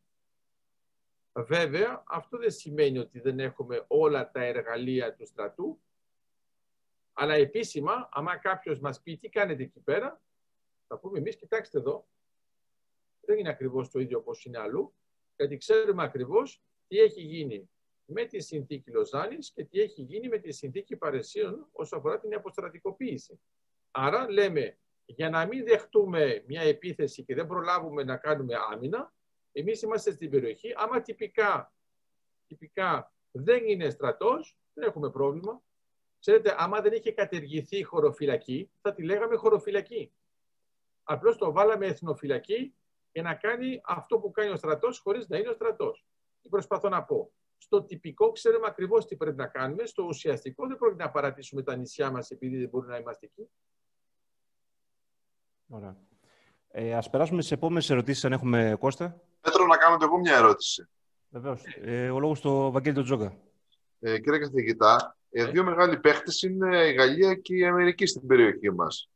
Ε, οι σχέσεις μεταξύ τους πώς θα επηρεάσουν τα δικά μας συμφέροντα στο βάθος του χρόνου; Οι σχέσεις μεταξύ τους είναι πολύ καλές και αυτό είναι διαχρονικό. Δηλαδή, στην πραγματικότητα, θυμάστε ότι σε κάποια φάση ο Ντεγκόλ είχε βγάλει τη Γαλλία από το ΝΑΤΟ. Ε, και η Γαλλία ξαναμπήκε. Τι θέλω να πω; Η Γαλλία ξέρει ακριβώς, γιατί τα έχει ζήσει ζωντανά, ότι αν δεν υπήρχε η Αμερική, εμείς θα ήμασταν ή Σοβιετικοί ή Ναζί. Ωραία. Ένα άλλο πράγμα, μην ξεχνάμε γιατί λέτε βέβαια οι μεγάλοι παίκτες, είναι βέβαια και η Αγγλία, αλλά φαντάζομαι ότι τους βάζετε στο πακέτο της Αμερικής. Ναι, ναι, σωστά. Ε, οι Γάλλοι και οι Άγγλοι είναι συνεχώς μαζί. Μην ξεχνάτε πού ήταν ο Ντεγκόλ στον πόλεμο και τον δεχόταν ο Τσέρτσιλ. Άρα οι Γάλλοι, οι Άγγλοι και οι Αμερικανοί σε αυτές τις θέσεις όσο αφορά τη Μεσόγειο παίζουν με τον ίδιο τρόπο. Τώρα το θέμα ποιο είναι; Οι Άγγλοι, ας πούμε, απέδειξαν ότι για ένα τοπικό πρόβλημα, όπως ήταν οι λαθρομετανάστες, ήταν ικανοί να φύγουν από την Ευρωπαϊκή Ένωση. Αλλά αυτό δεν σημαίνει ότι έχουν αλλάξει γεωστρατηγική στην περιοχή. Οι Άγγλοι είναι οι πρώτοι που κατάλαβαν ότι η Μεσόγειος είναι ανοιχτή θάλασσα. Τα τρία σημεία που είναι ανοιχτή, οι Άγγλοι ήταν παντού. Και στην Κωνσταντινούπολη, και στο Ζιμπραλτάρ και στο Σουέζ. Και ποιος το άνοιξε το Σουέζ, οι Γάλλοι. Άρα εδώ είναι πάλι το ίδιο. Άμα κοιτάξετε, ας πούμε, τι έγινε στον πόλεμο των έξι ημερών, θα δείτε ότι πάλι είχε μια παρέμβαση που ενώ έπαιζαν οι πιο μικροί παίχτες όπως ήταν η Γαλλία και η Αγγλία, εξαφνικά εμφανίστηκε ένας πιο μεγάλος παίχτης όπως ήταν η Αμερική και η Ρωσία. Και είπαν, παιδιά, ωραία, παίξατε τόσες μέρες, τώρα φτάνει, τελειώσαμε. Άρα αυτό που έχει σημασία είναι ότι η Γαλλία και η Αμερική συμφωνούν επίσης και για το θέμα του Κουρδιστάν. Συμφωνούν επίσης και για το θέμα της Τουρκίας συμφωνούν για την Ανατολική Μεσόγειο και δεν είναι τυχαίο που έχουν μπει σε κοινοπραξία οι Γάλλοι στο ΤΑΛ με τους Αμερικανούς της ExxonMobil. Οπότε λέτε δεν υπάρχει περίπτωση να, να συγκρουστούν τα συμφέροντά τους στο, στο βάθος του χρόνου; Όχι, όχι. Αντιθέτως, έχουμε ένα στρατηγικό μείγμα το οποίο συγκλίνει προς την ίδια κατεύθυνση. Πρώτα απ' όλα η Γαλλία θέλει για όλη την Ευρώπη ενέργεια και δεν θέλει να υπάρχει μια απόλυτη εξάρτηση από την Ρωσία. Το ίδιο ακριβώς θέλει η Αμερική. Άρα η Αμερική, ας πούμε, άμα ξαφνικά πει εμένα δεν μου αρέσει το East Med, δεν μου αρέσει η Μεσόγειος, πάνω κάτω είναι σαν να λέει στην Ευρώπη πάρτε φυσικό αέρα από τη Ρωσία. Δεν έχει κανένα όφελος. Αντιθέτως, είναι βαθύ το συμφέρον της Αμερικής να μπορούμε να ζούμε και από την Ανατολική Μεσόγειο. Αν θα βάλετε μέσα και τα δικά μας τα εξοπλιστικά σε σχέση με από ποια χώρα θα επιλέξουμε τα όπλα μας, πώς θα το βλέπατε αυτό; Ε, εμείς ούτως ή επιλέγουμε νατοικά. Αυτό κάνει διαφορά στις χώρες ε, ε, με τη συμπεριφορά τους εναντί εμάς; Αυτό κάνει τη μεγάλη διαφορά. Γιατί ξέρετε κάτι, όταν, ε, άμα εμείς προσπαθούσαμε, ε, θα σας πω ένα πολύ απλό παράδειγμα. Η Ουγγαρία τώρα προσπαθεί να παίξει με τη Ρωσία και την Κίνα για το εμβόλιο αν ξέρετε πώς την βλέπει ήδη η Γαλλία και μιλάμε για εμβόλιο, εντάξει, που δεν έχει καμία σχέση και λέμε εντάξει, ας το πάρουν. Το θέμα ποιο είναι; Είναι ότι αυτός που είναι σε ένα πλαίσιο που είναι ευρωπαϊκό και νατοϊκό, όλοι οι νατοικοί παίζουν με τον ίδιο τρόπο ενώ νατοϊκό, μην ξεχνάμε, έχουμε την άλλη πεταλούδα η οποία είναι κεντραρισμένη πάνω στην Ισλανδία. Για αυτή την πεταλούδα τώρα μιλάω. Τώρα το γεγονός ότι η Τουρκία μπήκε στο ΝΑΤΟ είναι πραγματικά αποσπόντα και σίγουρα θα βγει από το ΝΑΤΟ αποσπόντα. Αλλά θα είναι μια καλή ευκαιρία να έχουμε επιτέλους ένα θεσμικό πλαίσιο στο ΝΑΤΟ να μπορούμε να αποχωρούμε από μια χώρα. Δηλαδή και να μπορεί να φύγει και να μπορούμε να τη διώξουμε. Δηλαδή προς το παρόν το ΝΑΤΟ δεν επιτρέπει αυτά τα δύο. μια χώρα ακόμα και αν θέλει να φύγει από το ΝΑΤΟ δεν μπορεί να φύγει. Γιατί το 49 με άλλες συνθήκες. Άρα θεωρούσαμε τότε ότι ποιος θα θέλει να φύγει μετά. Άρα όταν βγαίνουν είναι καθαρά στο τυπικό σκέλος στρατιωτικό, πολιτικό, ανάλογα με το τι κάνουν. Αλλά επί της ουσίας δεν βγαίνεις. Λέω απλώς ότι αυτό είναι κυρίαρχο και για την Ευρωπαϊκή Ένωση. Μην ξεχνάμε ότι είναι δομές ε, η μία που υπάρχει από το 49, η άλλη που υπάρχει από το 57, οι οποίες είναι πολύ σταθερές, είναι εμείς που νιώθουμε ότι δεν έχουν σταθερότητα. Εμένα αυτό που μου αρέσει είναι ότι στην Ελλάδα θεωρούσαμε ότι η Σοβιετική Ένωση θα ζούσε για πάντα και θεωρούμε ότι η Ευρωπαϊκή Ένωση θα πεθάνει αύριο. Ε, νομίζω ότι επιλέξαμε σωστά η Ελλάδα ποτέ δεν πεθαίνει, γιατί άμα είχαμε επιλέξει η Ελλάδα ζει θα μπορούσε να πεθάνει, άμα δεν πεθαίνει συμβαίνει και να ζει. Σωστά, σωστά. Ευχαριστώ πολύ, να είστε καλά. Να είστε καλά. Ε, Κώστα, να περάσουμε σε κάποια άλλη ερώτηση, αν έχουμε. Ε, μία τελευταία ερώτηση, κύριε καθηγητά. Ναι. Ε, ποια, γιατί κατά τη γνώμη σας, η Ισπανία και η Ιταλία δεν έχουν ξεκάθαρη πολιτική στην περιοχή; Αστείευεστε. Τι δεν έχουν ξεκάθαρη περιοχή; Πρώτα απ' όλα, η Ιταλία είναι με την Edison και με την Έννη ενεργειακά. Είναι αυτή που θα υπογράψει την επέκταση του αγωγού ΜΕΔ, είναι αυτή που θα βάλει τον αγωγό Ποσειδώνα. Γιατί η, η, η Ιταλία είναι η χώρα στην Ευρωπαϊκή Ένωση που έχει το μεγαλύτερο αναπτυγμένο δίκτυο φυσικού αερίου. Το δίκτυο που έχουμε εμείς στην Ελλάδα είναι ιταλικής τεχνογνωσίας. Άρα, από την άλλη πλευρά, η Ισπανία, τις κινήσεις που κάνει είναι πάνω σε ένα πλαίσιο πρώτον ευρωπαϊκό, δεύτερον ατοικό. Η Ισπανία είναι και ε, στο Euromed 7, άρα συμφώνησαν οι 7 χώρες όταν είχαμε προβλήματα με την Τουρκία από την πλευρά της Ελλάδος και της ε, Κύπρου, η Ισπανία ήταν μαζί μας. Και αυτή η απόφαση από τους 7 είναι που επηρέασε στη συνέχεια την ίδια την Ευρώπη. Ενώ ήμασταν σε ε, γερμανική προεδρία που ξέραμε ότι οι Γερμανοί λόγω λεπτής ισορροπίας θα έκαναν ό,τι μπορούσαν για να καθυστερήσουν ε, τα μέτρα για να μην είναι μέσα στην προεδρία τους και αυτό να περάσει μετά στην Πορτογαλία, Σλοβενία και μετά όποιος θέλει. Άρα ήθελαν οι μεν να αποφύγουν τα δικά τους τα προβλήματα τοπικά και οι άλλοι πήραν τη θέση που ήταν η δικιά μας. Άρα είναι πολύ ξεκάθαρο πώς παίζουν και μην ξεχνάμε επίσης ότι η Ιταλία παίζει και στην Κυπριακή ΑΟΣ. Άρα η Ιταλία παίζει και στην Αίγυπτο και στην Κύπρο και στην Ελλάδα. Και έχουμε συμφωνήσει με μια οριοθέτηση, ε, πολύ σωστά όπως το κάναμε, πάνω στο θέμα της εμφαλοκρηπίδας και της ΑΟΣ και τελικά ξεπεράσαμε τα προβλήματα που είχε η Ιταλία με την Τινησία γιατί η Τινησία ζητούσε μια αυτόματη μετατροπή υφαλοκρηπίδας ΑΟΣ και δεν γινόταν αυτό γιατί θα έχανε η Ιταλία, γιατί η Ιταλία τι έκανε, τα νησιά που έχετε ακούσει, ε, Λαμπεντέρια, Λαμπεντούσα, Παντελέρα και όλα αυτά, αυτά τα νησιά έχουν μπει μετά. Δηλαδή, έχουν κάνει μια οριοθέτηση υφαλοκρηπίδας και αυτό έχει σχέση και με την ερώτηση και του κυρίου Δημήτρη και του κυρίου Στέργιου. Στην πραγματικότητα κάναμε υφαλοκρηπίδα μέση γραμμή, μετά ξαναβάλαμε τα νησιά, βάλαμε μόνο 12 ναυτικά μίλια και ουσιαστικά η Ιταλία είχε αποδεχτεί ότι αυτά τα νησιά που ήταν πολύ μικρά, τότε, τότε δεν είχαν υφαλοκρηπίδα.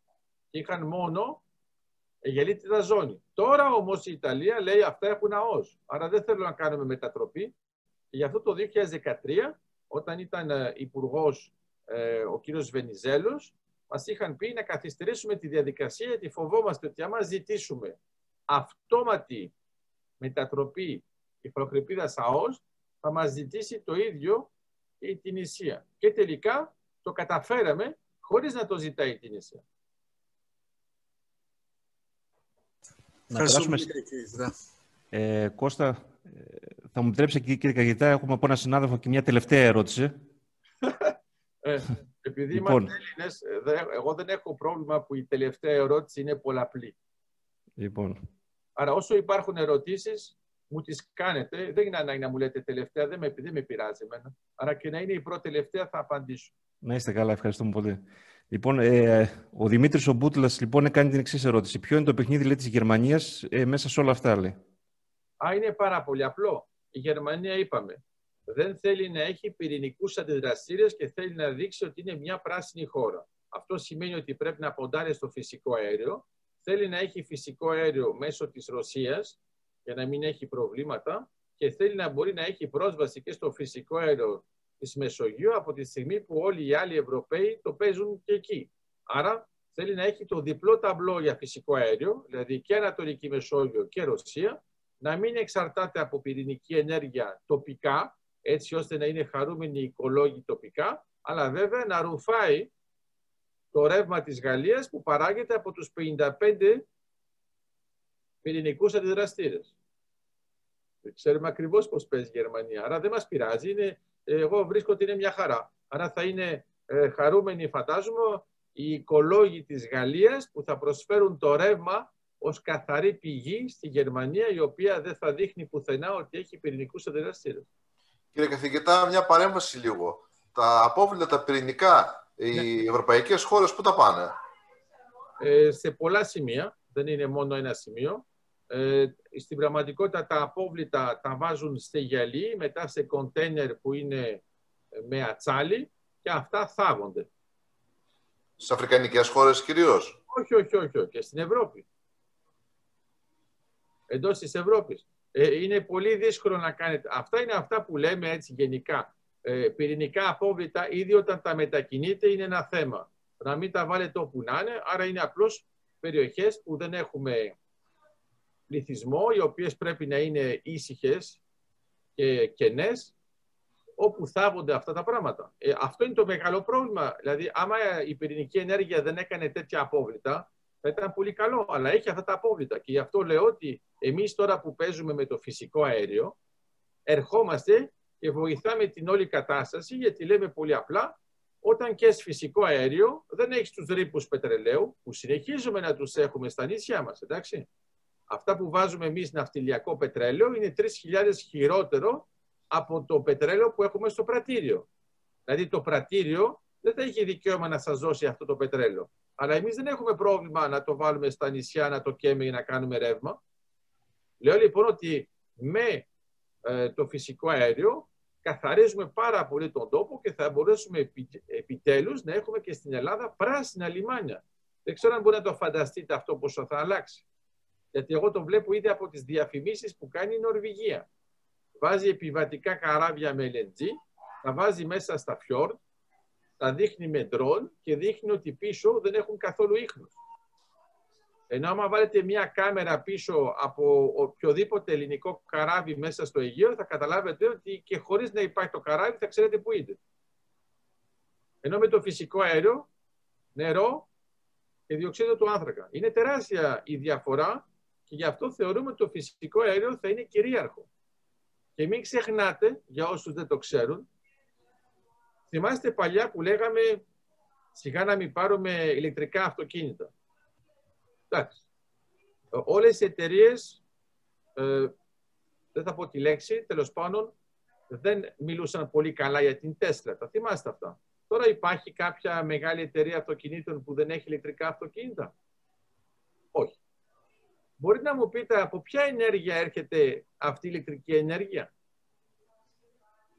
Ε, από αυτή την ενέργεια που έρχεται και στο σπίτι μας, η ίδια. Ε, ναι, αλλά εδώ μπαίνει και η καύση από υδρογονάθρακες και ειδικά από φυσικό αέριο. Άρα η μετατροπή που γίνεται συμφέρει ότι στο τέλος το αυτοκίνητό σας εσείς λέτε ότι λειτουργεί με ρεύμα και με μπαταρία, αλλά δεν ξέρετε ότι το ρεύμα από το οποίο παίρνει είναι και από φυσικό αέριο. Ναι, είναι, είναι από, από τη μίξη που προσφέρει ο κάθε πάροχος ε, το ε, δίκτυο. Άρα αυτό σημαίνει, σημαίνει λοιπόν ότι εμείς ερχόμαστε με στρατηγικά αποθέματα που αντιπροσωπεύουν ποσοστά της Ευρωπαϊκής Ένωσης εντελώς καινούρια σε μια περιοχή που είναι κοντινή, σε μια θάλασσα που είναι ζεστή, είναι σημαντικό αυτό, γιατί όταν θα ζεσταθεί ε, η Αρκτική θα είναι διαφορετικά τα πράγματα. Γιατί πρέπει να ξέρετε ότι το 25% των υδρογοναθράκων είναι στην Αρκτική. Εκεί πέρα μιλάμε για άλλη κοσμοθεωρία όσο αφορά τα ενεργειακά. Αλλά όσο κάνει τόσο κρύο και γίνεται είναι τόσο δύσκολη η εξόριξη, είναι η Ανατολική Μεσόγειος που θα παίξει έναν κυρίαρχο ρόλο και όχι μόνο ένα σημαντικό. και εμείς τυχαίνει να είμαστε στην περιοχή, λέμε. Ωραία. Ε, κύριε καθηγητά, να σας ευχαριστήσω. Και εγώ. Ε, νομίζω, νομίζω για αρχή τα πήγαμε καλά, είχαμε πει για μία ώρα, τελικά πήγαμε στις δύο ώρες. Ε, θα ήθελα όμως να σας μεταφέρω και τους χαιρετισμούς και τα συγχαρητήρια για την πρωτοβουλία που πήραμε και, και, και ότι η παρουσίαση ήταν εξαιρετική. Πραγματικά σας μεταφέρω τους χαιρετισμούς από συναδέλφους από όλη την Ελλάδα, από Λέσβο, από Βόλο, από Αθήνα, από Σέρες και από Σούδα. Ε, οι συνάδελφοι που παρακολουθούσαν την ε, παρουσίαση ε, έχουν λένε τα καλύτερα και θα ήθελα να σας μεταφέρω τα συγχαρητήρια. Να η, δικιά μας, καλά. η, η δικιά μας η πρωτοβουλία, κύριε καθηγητά, θα είναι η εξής. Ε, η παρουσίασή σας, όπως καταγράφηκε, θα την ε, αποστείλουμε στις δύο μεγάλες διοικήσεις που έχουμε εδώ στη Λάρισα και στο Αρχηγείο Τακτικής Αεροπορίας και στη διοίκηση της πρώτης στρατιάς, ούτως ώστε ε, κατά την κρίση τους να μοιραστεί το βίντεο στα στελέχη μας, εδώ στη Λάρισα. Χαίρομαι πάρα πολύ την πρωτοβουλία σας. Απλώς κατάλαβα ότι με προειδοποιήσατε, γιατί μου λέτε για αρχή τα πήγαμε καλά και είχαμε συμφωνήσει μία ώρα. Ξέρω ότι άμα με ξανακαλέσετε, μάλλον θα, θα κρατήσω το βράδυ για σας, για, για σιγουριά ας πούμε. Καλά το καταλάβατε και μάλιστα έχουμε σκεφτεί και το επόμενο θέμα. Α, εντάξει. Λοιπόν, σε κάποια φάση φαντάζομαι θα με ενημερώσετε για το επόμενο θέμα, αλλά εγώ να ξέρετε ότι θα είμαι πάνω ανοιχτός από τη στιγμή που προστατεύετε τις αξίες του ελληνισμού και είμαστε στα συμφέροντα της Ελλάδας, εγώ θα είμαι πάνω στο πλευρό σας. Αν αλλάξετε γνώμη, θα αλλάξω κι εγώ. Κύριε καθηγητά... Να είστε καλά. Ευχαριστούμε πολύ. Κύριε καθηγητά, Πέτρο. Ναι. Μια τελευταία ερώτηση που ήρθε από τα μέσα κοινωνικής δικτύωσης για τον κύριο καθηγητή, για να κλείσουμε με αυτό, να μην τον αφήσουμε παραπονεμένο. Σωστά, σωστά. δεν Συμφωνείς κύριε Πρόεδρε; Βεβαίως, βεβαίως, ναι. Αν, αν συμφωνεί και ο καθηγητής. Ναι, φαντάζομαι ότι είναι η ιδέα. Τη, τη διαβάζω όπως γράφηκε. Όπως ναι. γράφτηκε. Οι σχέσεις Τουρκίας με τη Ρωσία απέδωσαν μέχρι τώρα ωφέλη στη Συρία, στη Λιβύη και στο Αζερβαϊτζάν. Υπάρχει και το δεδομένο ότι στη Μεσόγειο έχουν θέσει συμφέροντα και διαχρονική παρουσία και οι Ρώσοι. Εκτιμάτε κύριε καθηγητά ότι οι σχέσεις Τουρκίας με τη Ρωσία θα έχουν πραγματικό κόστος για την Τουρκία κάποια στιγμή; Ερωτηματικό. Βεβαίως, γιατί μάλλον θυμάται ότι η ρωσοτουρκική πολέμη ξέρουμε ακριβώς τι έδωσαν σαν αποτέλεσμα κάθε φορά. Ο Ρώσος παίζει με την Τουρκία. Ο Ρώσος παίζει εναντίον του ΝΑΤΟ, όχι για την Τουρκία. Ε, αυτό που είπε η εισαγωγή της ερώτησης είναι λανθασμένος όσο αφορά τη Λιβύη. Τα ωφέλη δεν, δεν εμφανίστηκαν και μάλλον ε, θα ήταν καλό να το έχετε στο μυαλό. Όταν κοιτάζετε για την ομάδα Σαντάτ και με την ομάδα Βάγνερ, είχαν μια αντιπαράθεση οι Ρώσοι και οι Τούρκοι. Δεν πήγαν μαζί να κάνουν κάτι. Αντιθέτως, οι Ρώσοι τους εξήγησαν ότι εδώ είναι η περιοχή μου. Το άλλο πράγμα που πρέπει να έχετε στο μυαλό σας είναι το εξής.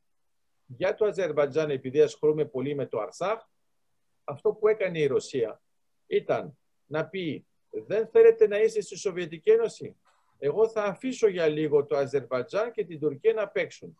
Έπαιξαν. Ε, αμέσως έχει φύγει η Τουρκία. Δεν είναι καν στη συνάντηση που έκανε ο Πούτιν με ε, την Αρμενία, ούτε με τους Αζέρους. Άρα ουσιαστικά επανήλθε ακόμα πιο δυναμικά η Ρωσία στην περιοχή του Καυκάσου. Και το ξέραμε από την αρχή γιατί ο Κάφκασος για τη Ρωσία είναι κήπος της. Γι' αυτό το λέει μάλιστα και Ναγκόρνο Καραμπά.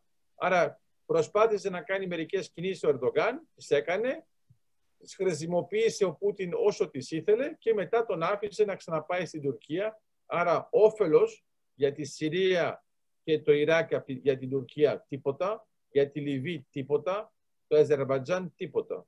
Απλώς τα προβλήματα έχουν μεγαλώσει στην Τουρκία και ο Ερντογάν έχει όλο και πιο πολλές φθορές. Άρα ουσιαστικά ο Πούτιν παίζει ότι μπορεί να τον σώσει αν το θέλει. Απλώς υπενθυμίζω μερικά πράγματα για να έχουμε και, εμάς, και εμείς στο μυαλό μας μερικά θέματα. Θυμάστε ότι σε κάποια φάση λέγαμε ότι θα ήταν καλό να αλλάξουμε νόμισμα.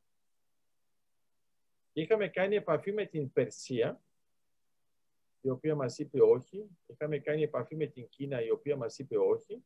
Και τελικά κάναμε με τη Ρωσία, η οποία μας είπε όχι τελικά. Και ξέρετε ποια ήταν η δικαιολογία της Ρωσίας. Είπε, εγώ θα είμαι καλά μαζί σας και θα είμαι εναντίον 27. Και τέλειωσε το θέμα. πρέπει να καταλάβουμε ότι η Ρωσία είναι ένας μεγάλος στρατηγικός παίκτης, δεν παίζει όπως να είναι και το γεγονός ότι πήρε το 70% από το κοίτασμα Ζόρ θέλει να πει ότι θα παίξει και στην Ανατολική Μεσόγειο. Απλώς είναι η Τουρκία που νομίζει ότι παίζει ισότιμα με την Ρωσία, αλλά δεν έχει καμία σχέση. Η Ρωσία ξέρει ότι η Τουρκία είναι μια μαριονέτα στην περιοχή. Όσο την χρειάζεται για να κάνει κάτι θα την χρησιμοποιήσει, δεν την χρειάζεται θα την αφήσει και μπορεί βέβαια και να την πατήσει. Και μια που είμαστε σε επαιτειακά δεδομένα, σας υπενθυμίζω ότι την ώρα που εμείς κινδυνεύαμε σε επίπεδο επανάστασης, ξαφνικά η Ρωσία αποφάσισε να κηρύξει πόλεμο στην Τουρκία, να κλειδώσει τον πόλεμο, να κερδίσει και μετά να την βάλει να υπογράψει τη συνθήκη Κωνσταντινούπολης του 1832 με την οποία γεννηθήκαμε ως κράτος. Αυτό που έχει σημασία είναι ότι δεν πρέπει να ποντάρουμε πάνω στη Ρωσία, αλλά πρέπει να εκτιμούμε το μέγεθός της σε επίπεδο στρατηγικής. Είναι ένας μεγάλος παίχτης, τον οποίο πρέπει να σεβόμαστε, αλλά όχι να λατρεύουμε